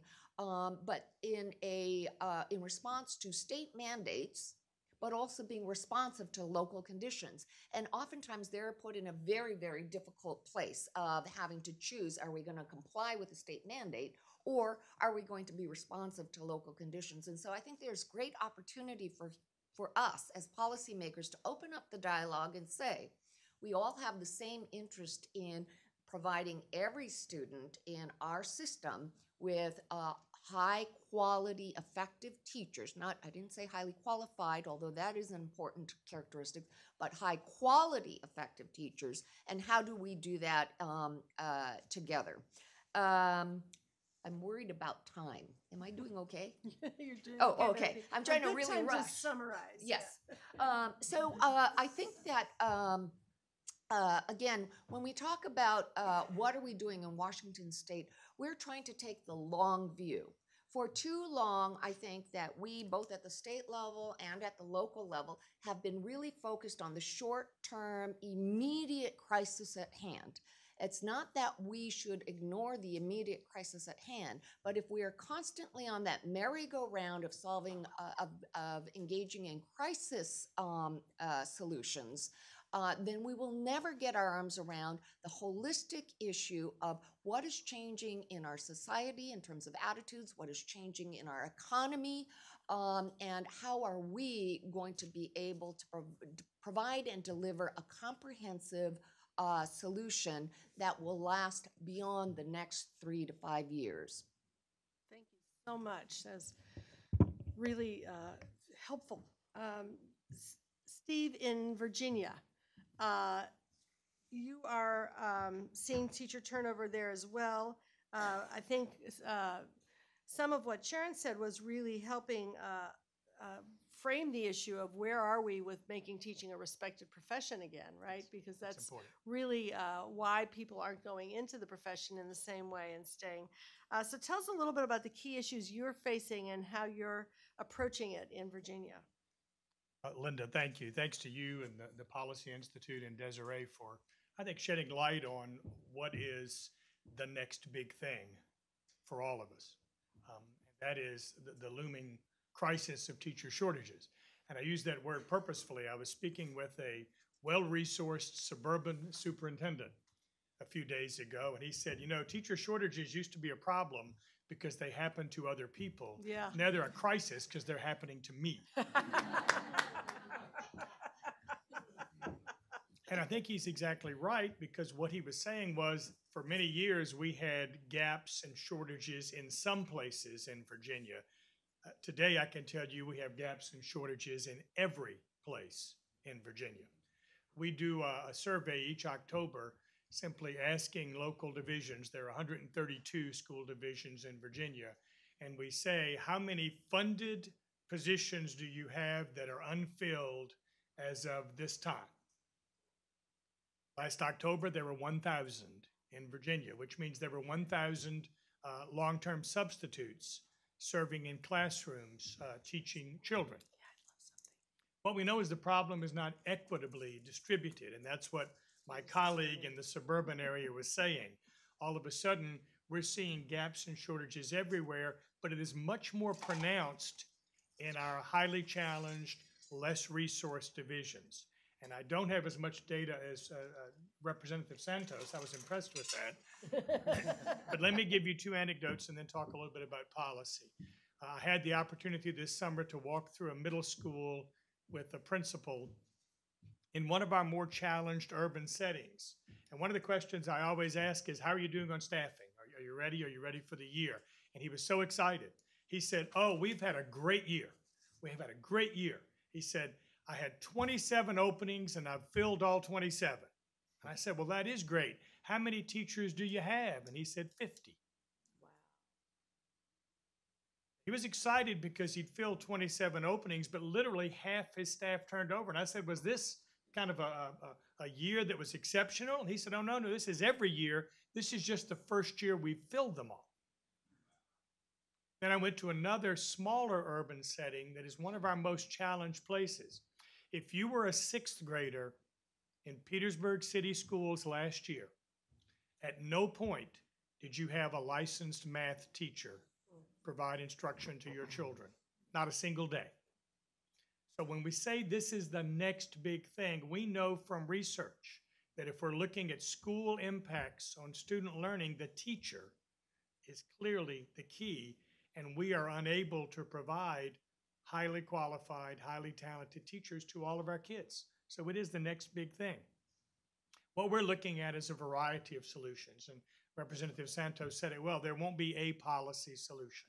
There's not one way to do this. And so, what we're trying to do is approach it in a contextual manner. In our rural under resourced divisions, the solutions look different than they do in our urban less resourced divisions. So, we're trying to roll out a variety of opportunities that localities can buy into that says this one fits my need. So in our in our more rural settings, we're really focusing on grow your own programs because we know that there are, in fact, folks who are already embedded in, committed to, and have a long term commitment to that community. So we simply need to upgrade their skill set because they're already there. My colleague out in Lee County, which is the western part of Virginia. Uh, Lee County is as far west as you can go in Virginia. By the way, it's west of Detroit. Little tip of Virginia that goes down. And he said, Here's my problem with recruiting. He said, I go to a college and I sit down with a 22 year old and I say, If you move to Lee County, you're only a 30 minute drive from the nearest Walmart. Recruiting is not his solution. Retention and grow your own are his solutions. So we're working there for him. But in urban settings, we have amenities that often are attractive to young people. It's a different recruiting retention methodology. There, we're talking about expanding residency programs and increasing mentorships. And I think mentorships is likely the place where we're going to invest much of our policy effort. Uh, there was a time when uh, you were a new teacher, and I was one of those in 1976, uh, before Antonio was born, I think. Uh, and the, the induction program was, here are your keys, that's your room, here's your roster, go get them, champ, you're at it. Um, my fear is that our, our mentoring and induction programs haven't changed significantly since then. Uh, we provide to our mentor teachers the grand stipend of about $200 a year. Oh.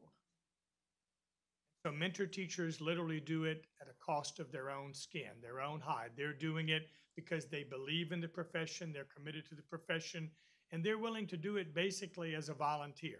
So I think we're going to have to look, particularly in our urban settings, to beef up the induction and mentoring because we're likely going to be solving their shortage by bringing in a bunch of new teachers who are new to the area and uh, new to the whole sense of those kinds of schools. Wow, very vivid. Thank you so much. I had the same induction program that you Yes. did, yeah, in a different state, actually. so, Seth, there are, you're with the National Governors Association. There are 41 gubernatorial elections by 2018, uh, presenting the prospect for a new wave of new policymakers at the state level. You work closely with governors. Can you share what this turnover of governors uh, could mean for state efforts to address teacher turnover and teacher shortages and to support districts and schools facing these challenges. Good, and thanks, Linda, for bringing us all together on this important topic um, and having National Governors Association as a part part of it. Um, I'll start where I think Representative uh, Santos left off, which is to say this really is the right time for the discussion.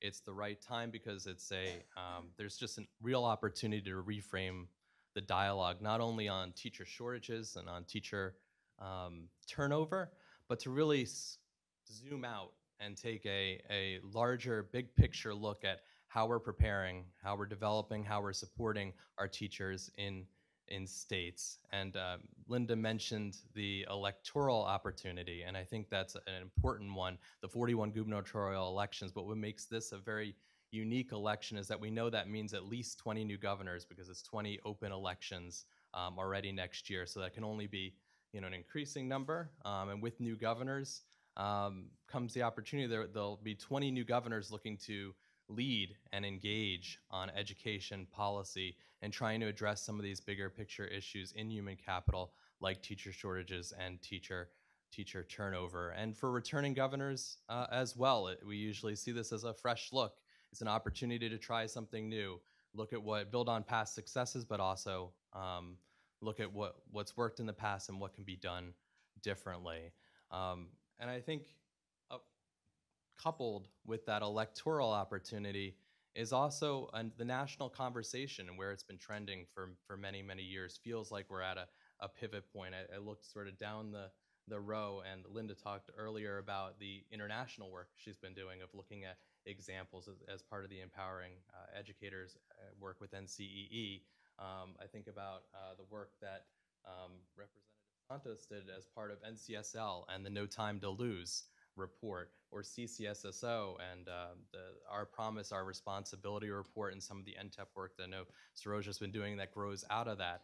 That's just three reports right here, and all saying that we need to take a comprehensive approach to solving these these issues. Um, and I think that that really um, speaks to that this is a this is a pivot point in the, in the conversation. And and in terms of a governor's role and how they're well positioned the governor is that unique individual the unique policymaker that naturally oversees both k-12 and higher education um, and, and is really able in that way to, to act as the coordinator as the convener as the connector of all of these these systems. Um, and we're seeing already some real traction on these these issues that we only expect to, to be an uptick. Governor McAuliffe uh, earlier this year called together a task force on teacher shortages, and I think this this speaks to the the last part that he he tasked with leading that task force um, the the leader of the school board, uh, uh, the state board, as well as um, the leader of the higher education board. So you know again. Um, sort of as that overseer of, of systems, really important to be able to, again, naturally bring together systems. And uh, that's the real challenge going forward, as, as many of uh, the panelists have been saying. So many promising practices out there, but it's that taking that systematic approach and being able to tie it all together is the, is the challenge going forward. Yeah. Let me uh, stick with you, Seth, for a moment, and then we'll kind of come back down the row and ask about what you're doing at NGA to uh, sort of align the efforts across the different parts of the system, the different state agencies and stakeholders, and advance some solutions across those those systems. Uh, and I think this is really where it has to be a, a state and local conversation on looking at the data. It has to start with looking at the the data. Um, I think about the line of uh, Tip O'Neill in a very different context, but all politics is local, and you know shortages are just the the same. And, and understanding uh, where are the shortages, why is this happening, um, Where where is it happening? Before you can have the the sort of uh, knowing how to address the issues, you need to know: is there a special education shortage in my state? Is there high teacher turnover of math and science teachers in my state in high need areas? Um, this is it, it has to be a state uh, directed conversation. Some too many times um, we find in in education we go right for the intervention and don't sort of look at the root cause of the problem and know what the scope the scope of it it is. And I think of um, the work of Ellen Sherratt, who was at AIR and now at National Board, and she, she spoke about it. I think it's the perfect term that before you're going into this conversation, it's uh, looking at multiple data points, but it's having a coherent dialogue and a common language for how you're talking about that. Because we all talk about teacher shortages, we talk about teacher turnover, but we first need to know, and this is particularly important on the state level, to know uh, what are the terms we're talking about, what are the specific issues that we're dealing with, then we'll know how to to address it. So, uh, you know, along those lines, um, at the National Governors Association, in advance of the 2018 election, what we're working on developing is identifying what are those decision-making tools that governors can use to get to the root cause. You know, cause analyses. There's been some great work done. Um, I think about Minnesota with their teacher uh, shortage uh, predictor uh, or the teacher and supply demand reports. They made it very um, actionable and, and as well as Missouri and Arkansas with teacher shortage predictor tools. So what kind of planning tools can be in place if we're going to break this this cycle of teacher shortages and teacher turnover? It's going to be because there's been planning ahead on the issue um, and, and setting that that in motion add to that if I, if I have time is alongside of this is, is putting together a roadmap uh, for governors. So when they are looking at these planning tools being able to see what is happening in their state it's also saying here's some best practices along the, the systems. We know again you know promising practices. We heard a number of them this morning um, antonio and, and going through the residency program um, students starting in, in high school and on that career pathway towards uh, teaching. Um, certainly, professional growth and learning for all teachers, beginning teacher support, residency programs. So we have we have these pieces. Um, about just a couple months ago when we were having this conversation last with with governors. It was at Governor's Education Symposium in Denver. Bipartisan governors came from across the the country, and uh, both Governor Hutchinson. Uh, from Arkansas and Governor Cooper both talked about the importance of national board certification as sort of being a, a leverage point for retaining teachers in their state, Mhm. um, teacher leadership opportunities uh, as well. So you, again, it's it's putting it together and um, So you're really talking about a comprehensive approach. Um, and I want to ask Superintendent Staples, as you kind of think about um, Virginia, uh, you mentioned the investments in mentoring being a key piece. How are you thinking about the uh, solutions to getting a stable, high-quality teacher workforce? Linda, thank you. Um, and Seth, thank you for mentioning our governor, Governor McAuliffe. He did direct us to pull together a task force. And so I'm going to be a little circumspect in giving you specific recommendations from the report we're giving him on October 1. Uh, so, so I want to make sure I don't uh, get myself in trouble with that as well. Um, but Linda, I think there are two things that we, we perhaps don't think of because we've talked about mentoring and, and, and residency programs and grow your own, and these are these are good solutions. I think we might overlook two. Number one is we're now having the conversation that the shortage problem isn't just a recruiting problem. And I think we all tend to look at, oh, I've got to fill this bucket, so I just need to turn the faucet a little more open and, and my bucket will fill quicker. What we're asking folks to do is look at what's pouring at the bottom of your bucket, and that's the retention problem. And I think many of our locals are surprised when we can give them some data, not just about their, their shortage needs, but how their retention is such a significant part of those. And Desiree, I loved your uh, data around that. So I think that's that's helpful in recognizing that it's not just about getting more people in; it's about keeping people in who are already there. But I think we underestimate one that isn't automatically an easy policy fix, and that's raising the the respect for the teaching profession. Mm-hmm. And the question asked to the first panel was about how accountability might negatively impact the teaching profession. the teachers that I speak with in Virginia are not afraid of, nor do they want to get away from accountability. What they want to get away from is unreasonable, inequitable accountability and micromanagement of their response to outcomes. And my fear is that in, in schools where we see the greatest outflow, teachers take a job until they can get the next job, where their transfers aren't even recorded well for us because they're intra-district. So I get into this district and I stay at this school until a job opens up at a preferred site, and then I move over there where we're, we're not even collecting that data because it looks like they're still in that district. They're just leaving those schools, and that's why that principal has 27 openings. Many of those teachers stayed in that district. They just went to another school. What teachers say to us in those schools are number one, hold me accountable fairly. Mm-hmm. Growth in ESSA gives us the opportunity to change the accountability paradigm. Because what teachers say is hold me accountable for what I control. If I get a fifth grader who's at the second grade level, at the end of the year they're at the fourth grade level, and you tell me I'm a failure, that's not what I see as fair and equitable accountability. I moved a student two years, and you're telling me I'm a failure, I'm going to go to another school. So we look at that. We have to look at that as accountability. But also, we have to raise up teaching as a profession, you know, and, and recently, much of the dialogue has been about how bad teachers are, how horrible it is, what a horrible profession it is, and we're now eating our own. When I go to teachers in the profession and I say, Would you recommend teaching as a career? The vast majority to me say no. I tell my own children not to mm-hmm. do this. Not because they don't want to be good teachers, it's because we're not allowing them to be good teachers. Going to challenge schools, too often our response is more scripting of teachers, more regimented pacing guides, and more monitoring day to day to say, where are you at this moment in time? In a sense that teachers feel so put upon that they can't do what brought them into teaching in the first place, which is to interact with children in a positive, personal way. So part of our effort in Virginia, from Governor McAuliffe on down, is really trying to change the dialogue, to say to teachers what you do is valued, your work is important, and we appreciate it.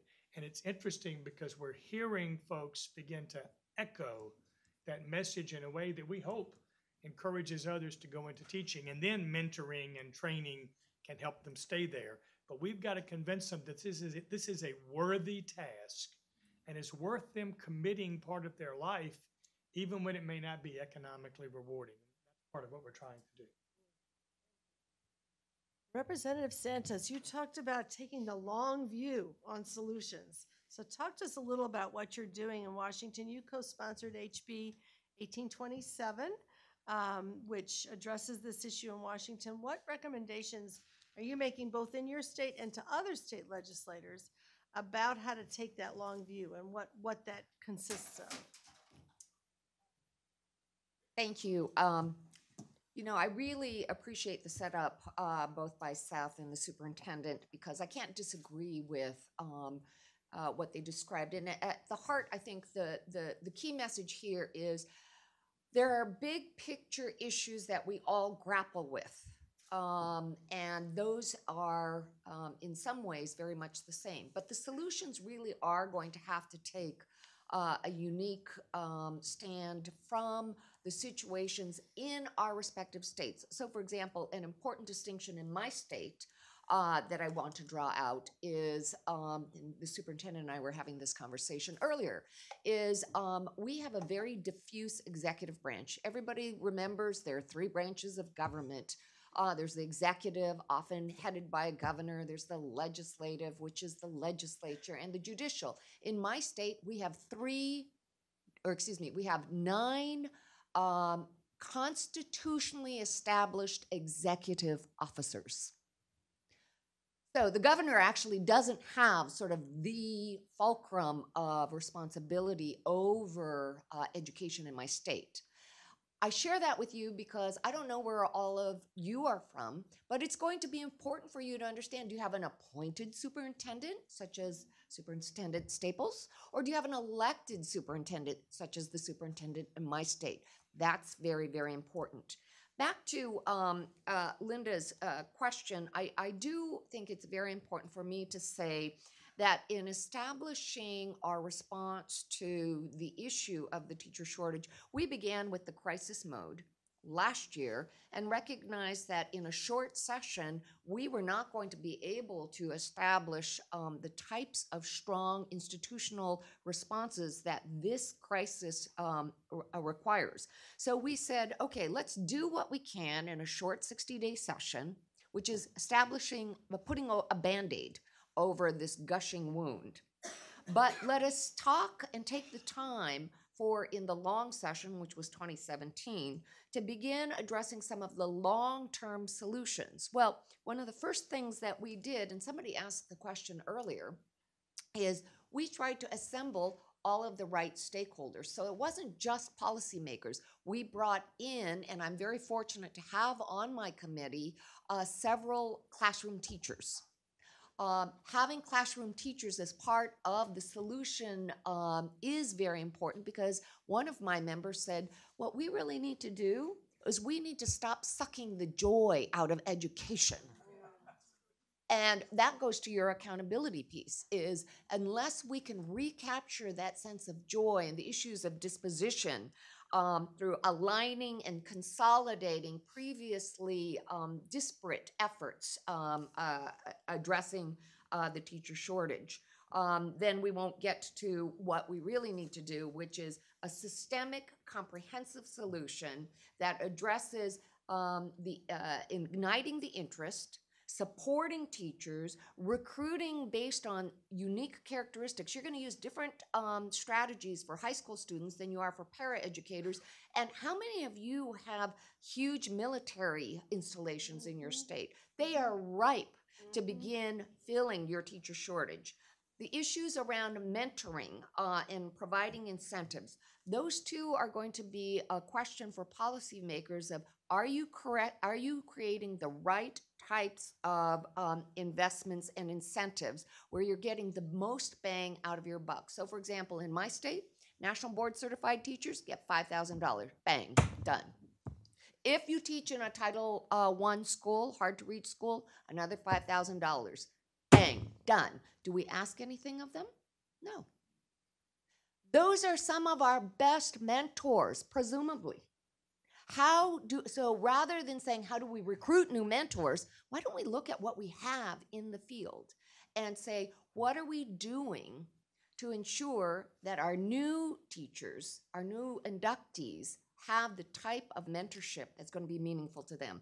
Um, again, I would uh, hope, because I'm seeing the one minute sign here, that you will ask um, questions that are um, uh, about uh, sort of the long term. But the final thing I want to say is I'm hoping to engage LPI and this uh, group of expertise experts uh, in a true uh, long term conversation in Washington state that will uh, stretch over a number of years to talk about the various aspects, not just about teachers, but also about principals and leadership and how we bring um, uh, our superintendents and our local boards into this conversation so that we can um, uh, do what is an old Pacific Islanders saying, which is if you want to get to your destination, everyone has to be in the canoe pulling in the same direction. That's great. I love that metaphor. That's a good thing for us to invite the audience. If there are questions that you would like to raise, please come up to the microphone. We have a couple of folks uh, aiming in that direction. Excellent. And we have about nine minutes for those questions. So we might take a couple of questions and then let you uh, play off of those. Please. Good morning. I'd like to thank the panel. Um, my name is Peggy Brookins. I'm the president and CEO of the National Board for Professional Teaching Standards. So you answered one of my questions already. But the second question I have is around reciprocity and how you see reciprocity helping uh, the teacher shortage uh, problem. That's great. We're going to hold that question and combine it with a couple of others. So, you know, kind of keep uh, notes or sharpen your brains. Yes, Yes. my name is um, Samantha Koba. I'm a former third grade um, teacher from Cleveland, Ohio. Oh, that's Um, my hometown. Yes. Um, in my experience in teaching, um, I found that it was, while rewarding, it was the most emotionally, physically, mentally exhausting experience I've ever had to date. And I'm just wondering, as we talk about teacher turnover and retention, what's being done to address the mental health of our teachers, um, as well as our students? Because we are finding in this new generation of learners and families, teachers are simply not equipped to address the needs of our students. So, what is being done on the mental health aspect? And yeah, just interested in that. So much. We'll take one more and then we'll um, take another batch. Melinda. Good morning. My name is Melinda George, and I'm with Learning Forward. I want to say thanks to this panel and the one before. It's been a terrific discussion. Um, my question is really, uh, I think, kind of goes along with the one just asked, and that is around professional learning for teachers. If we're really looking at how we retain teachers, what kind of supports are we providing in schools and through districts in order to make sure those teachers feel supported? And I don't necessarily mean training, I mean real professional learning supports. Thank you. All right. So we have reciprocity, mental health, and professional learning supports. Would you like to start us off, Steve? Wow, nine minutes, piece of cake. Uh, Well, we don't have all of those nine minutes. We only, we only have about three minutes. All right, I'll do this other- in one. There, there are two things we're working on, and I can't answer all three of those questions. But you, you've hit an important issue for us in Virginia, and that is as we look at providing help to teachers, we can't just look at it as a classroom-only exercise. Uh, the State Board of Education just pro- uh, passed a series of staffing adjustments to say, what will the state pay for? because we have a shared finance model.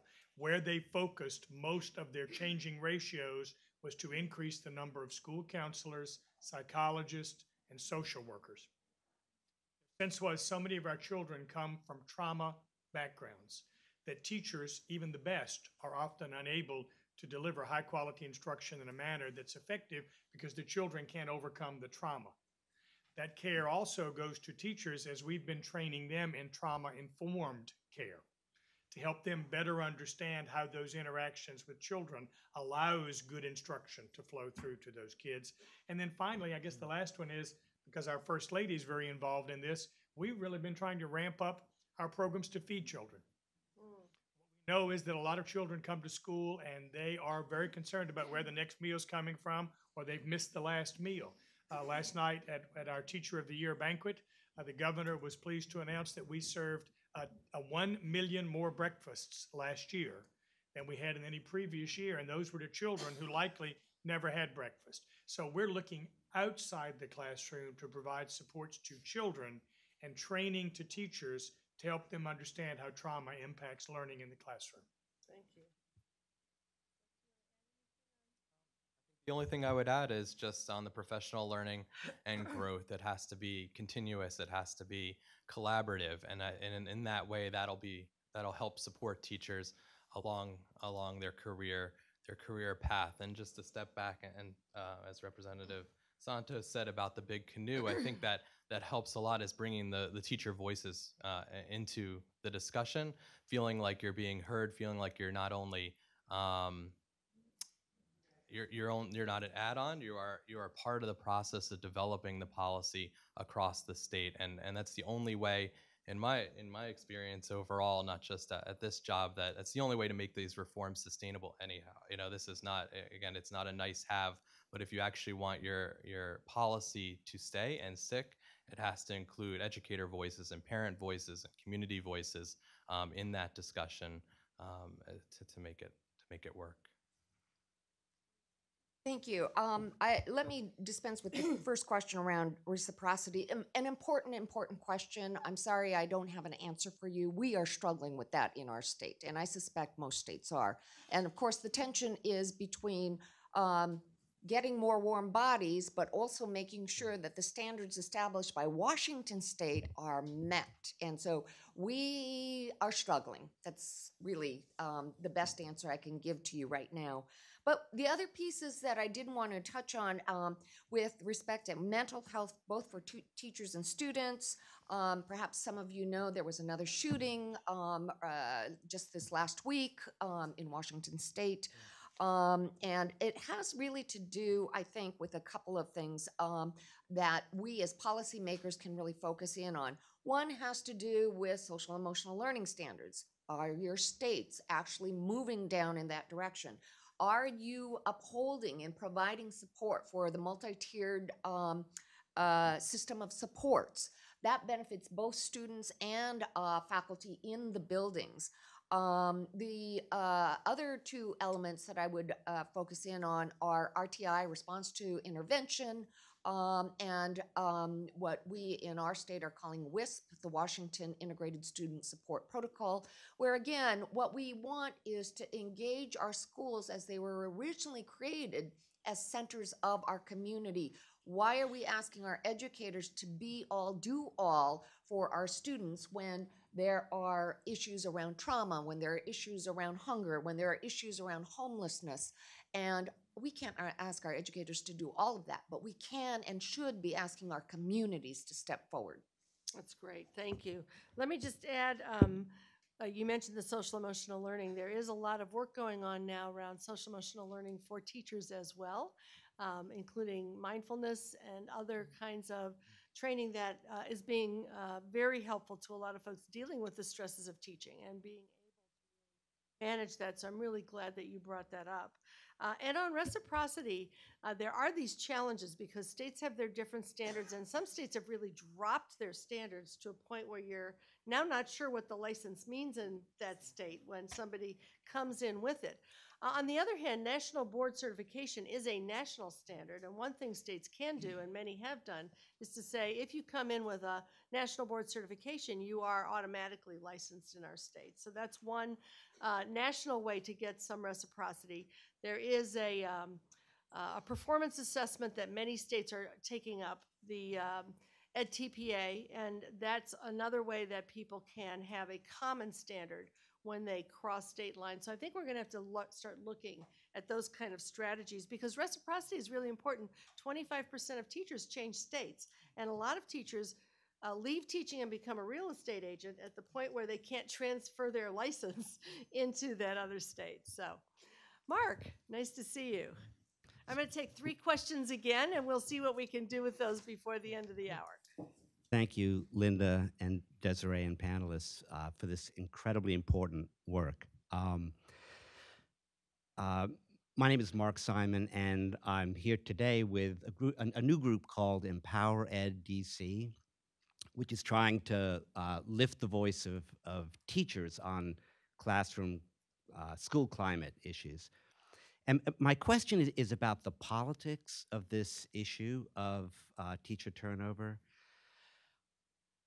Um, in, in DC, for example, the, the school system uh, recruited researchers to, you know, to show that uh, that when you look at the test scores of teachers who leave versus teachers who come in, there's a marginal improvement, evidently, um, in the DC data. In other words, this huge effort to say teacher turnover isn't important. And um, uh, I don't think it's hard to, well, it is hard actually to look at that data and see why that data isn't really uh, reflecting what's going on and why there are uh, things that are impacted by teacher turnover that they're not even looking at. But my question is have you encountered that kind of denial and use of researchers to come in and uh, and downplay the issue? And if you have, you know, what do you what do you do about that? P- specifically, the uh, the use of research to kind of uh, deny that this is an issue. Turnover deniers. Exactly. All right, We have, it's actually 11:01, so I appreciate people being here. Jane, I want to give you a chance to quickly ask your question if it's a, it's a a one-second question. and we'll- Kudos to you all for an incredible effort and keeping this on the national radar screen. I, I can't tell you just from being in DC how important your voice is. Um, question about the future and A Representative quick one and an easy one. Santos, not so easy. Do we need to begin to look at restructuring the roles in schools, given all the millennials who are not going to stay in a profession for 30 years the way we did in our generation? Um, do we need to think about a senior master corps supervising people who rotate through every two or three years? Uh, and is that happening anywhere? And can we make it happen? It's an easy one. Yes. How you doing? Uh, Sean Warner from Clark Atlanta University. Um, just wanted to uh, thank the panel again for a wonderful discussion. Um, two very quick questions, or one one statement, one question. I want to thank the superintendent for the the. I want to. I appreciate the comment that he made about um, trauma, because as a former dean, actually twice over, it was something that I kept trying to push w- amongst the faculty about looking at trauma. And I think that there are, uh, uh, there are great opportunities for schools of education uh, to look at trauma across their, their actual programs. Um, but the question is for uh, um, my friend from Washington. Uh, what is Washington doing to sell itself, right? Sell itself to um, get candidates, particularly candidates of color, uh, to their state.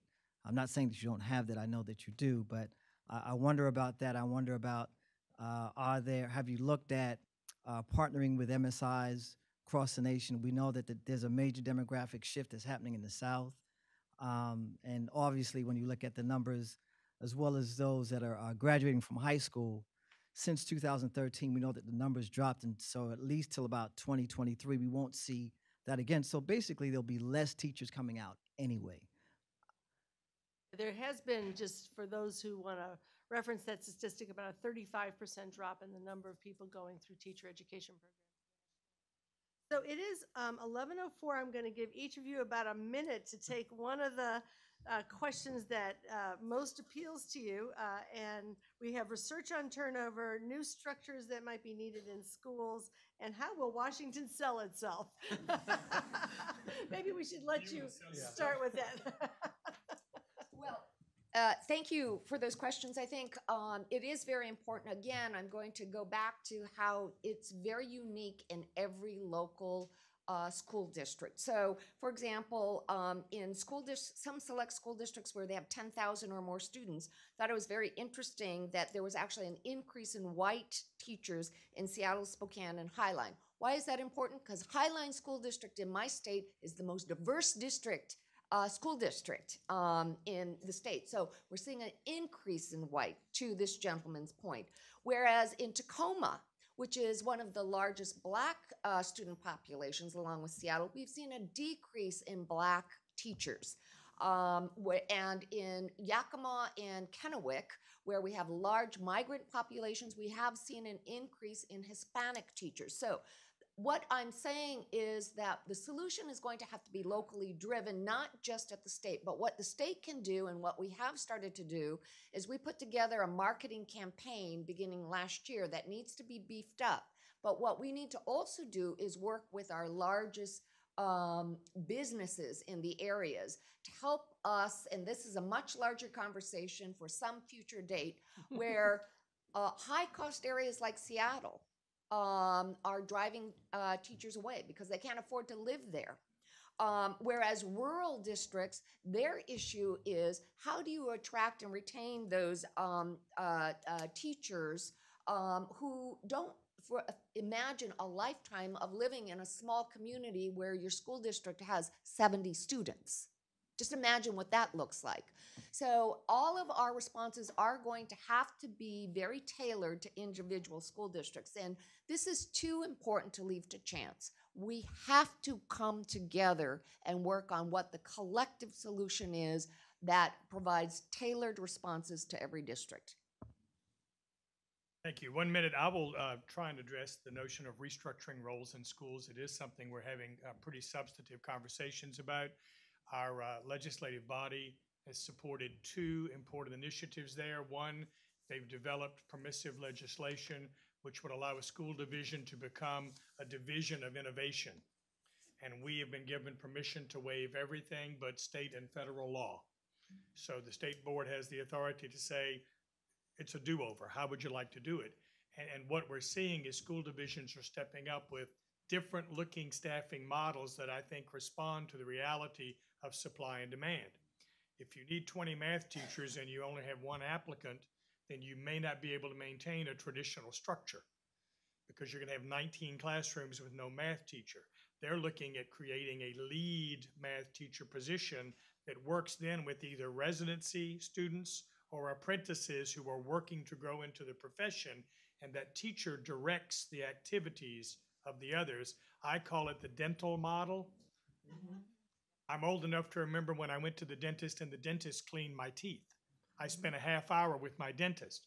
I went last week and I spent 30 seconds with my dentist, and other people did it under his direction and tutelage with him checking on what was going on. I think we've got to we've got to look at that, and most importantly, as we elevate teachers to become supervisors and mentors, working with folks who are moving into the profession, it is not just money; it's time. It's time. For some reason in K 12, we didn't get the memo that higher ed got, and, and higher ed was better at this.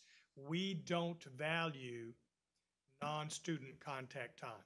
Mhm. If you're a K 12 teacher, we believe the only value you have is if you are constantly engaging with students. And any time away from students, we say, well, that's worthless time. I think we've got to change that model to recognize that our teaching professionals need to have non student contact time when they can work with colleagues or train folks who are moving into the profession. And if we look at a staffing model that gives them time and money, I believe in the long run we'll get teachers to stay. I'll try to group uh, both the questions together, which I think really is about the attractiveness of the profession. How do you improve the attractiveness of the profession? And I think to Jane's point about um, teacher leadership opportunities really provide that ability not only to be a retention strategy, but a recruitment one as well, and that and that's upping the, the attractiveness of it. I think of Governor Branstad's work and, and continued under Governor Reynolds um, out in Iowa, the teacher leadership and con- compensation system they have there. You have a um, governor creating the space for more teacher leadership opportunities. You have increased retention, and what does that say to the teachers in that in that state that they're going to be supported?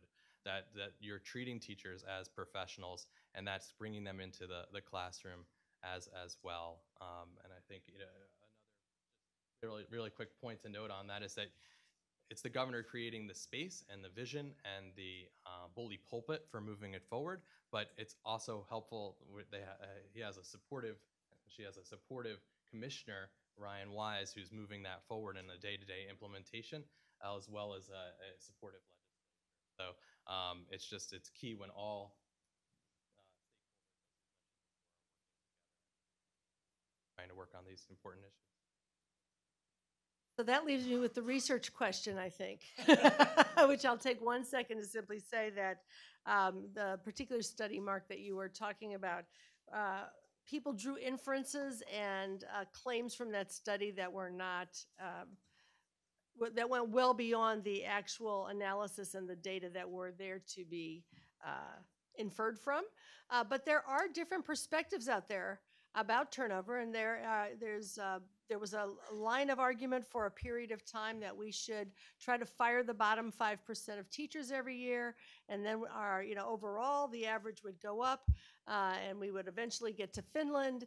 And I made the claim that you cannot fire your way to Finland uh, because in fact what they do is prepare people really well. They keep them for a whole career and invest in their professional learning and expertise development. And we're in a situation where if we were to let people go in large numbers uh, on that model, we wouldn't have qualified people to replace them. And we also know that the uh, very fact of turnover at, if when it's high at a school level reduces achievement for the kids in the school, not only those whose teachers left, but for the other kids in the school because of the disruptions and so on.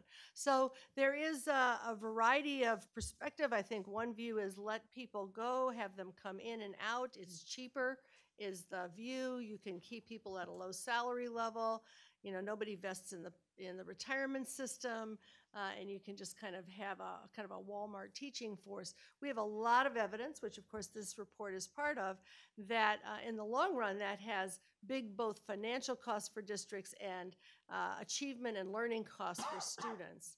Um, and uh, we will continue to see um, uh, lots of research being done on this question, uh, and hopefully research that really takes those variables and the life of the school and what that does uh, to the life of the school into account. I want to thank everyone who has stayed beyond our, uh, nobody left to run out uh, at the bell. Um, thanks to our co-sponsors, to uh, staff who participated, in particular Jessica Cardichon, Maria Hyler, who did a lot of our organizing, Shanice Hood, there she is in the back, uh, Deanna, uh, Julie, uh, all of our DC office uh, staff who were busy stuffing envelopes over lunch yesterday. Uh, thanks to you for coming and for all you will do to help strengthen the teaching profession and to reduce teacher turnover.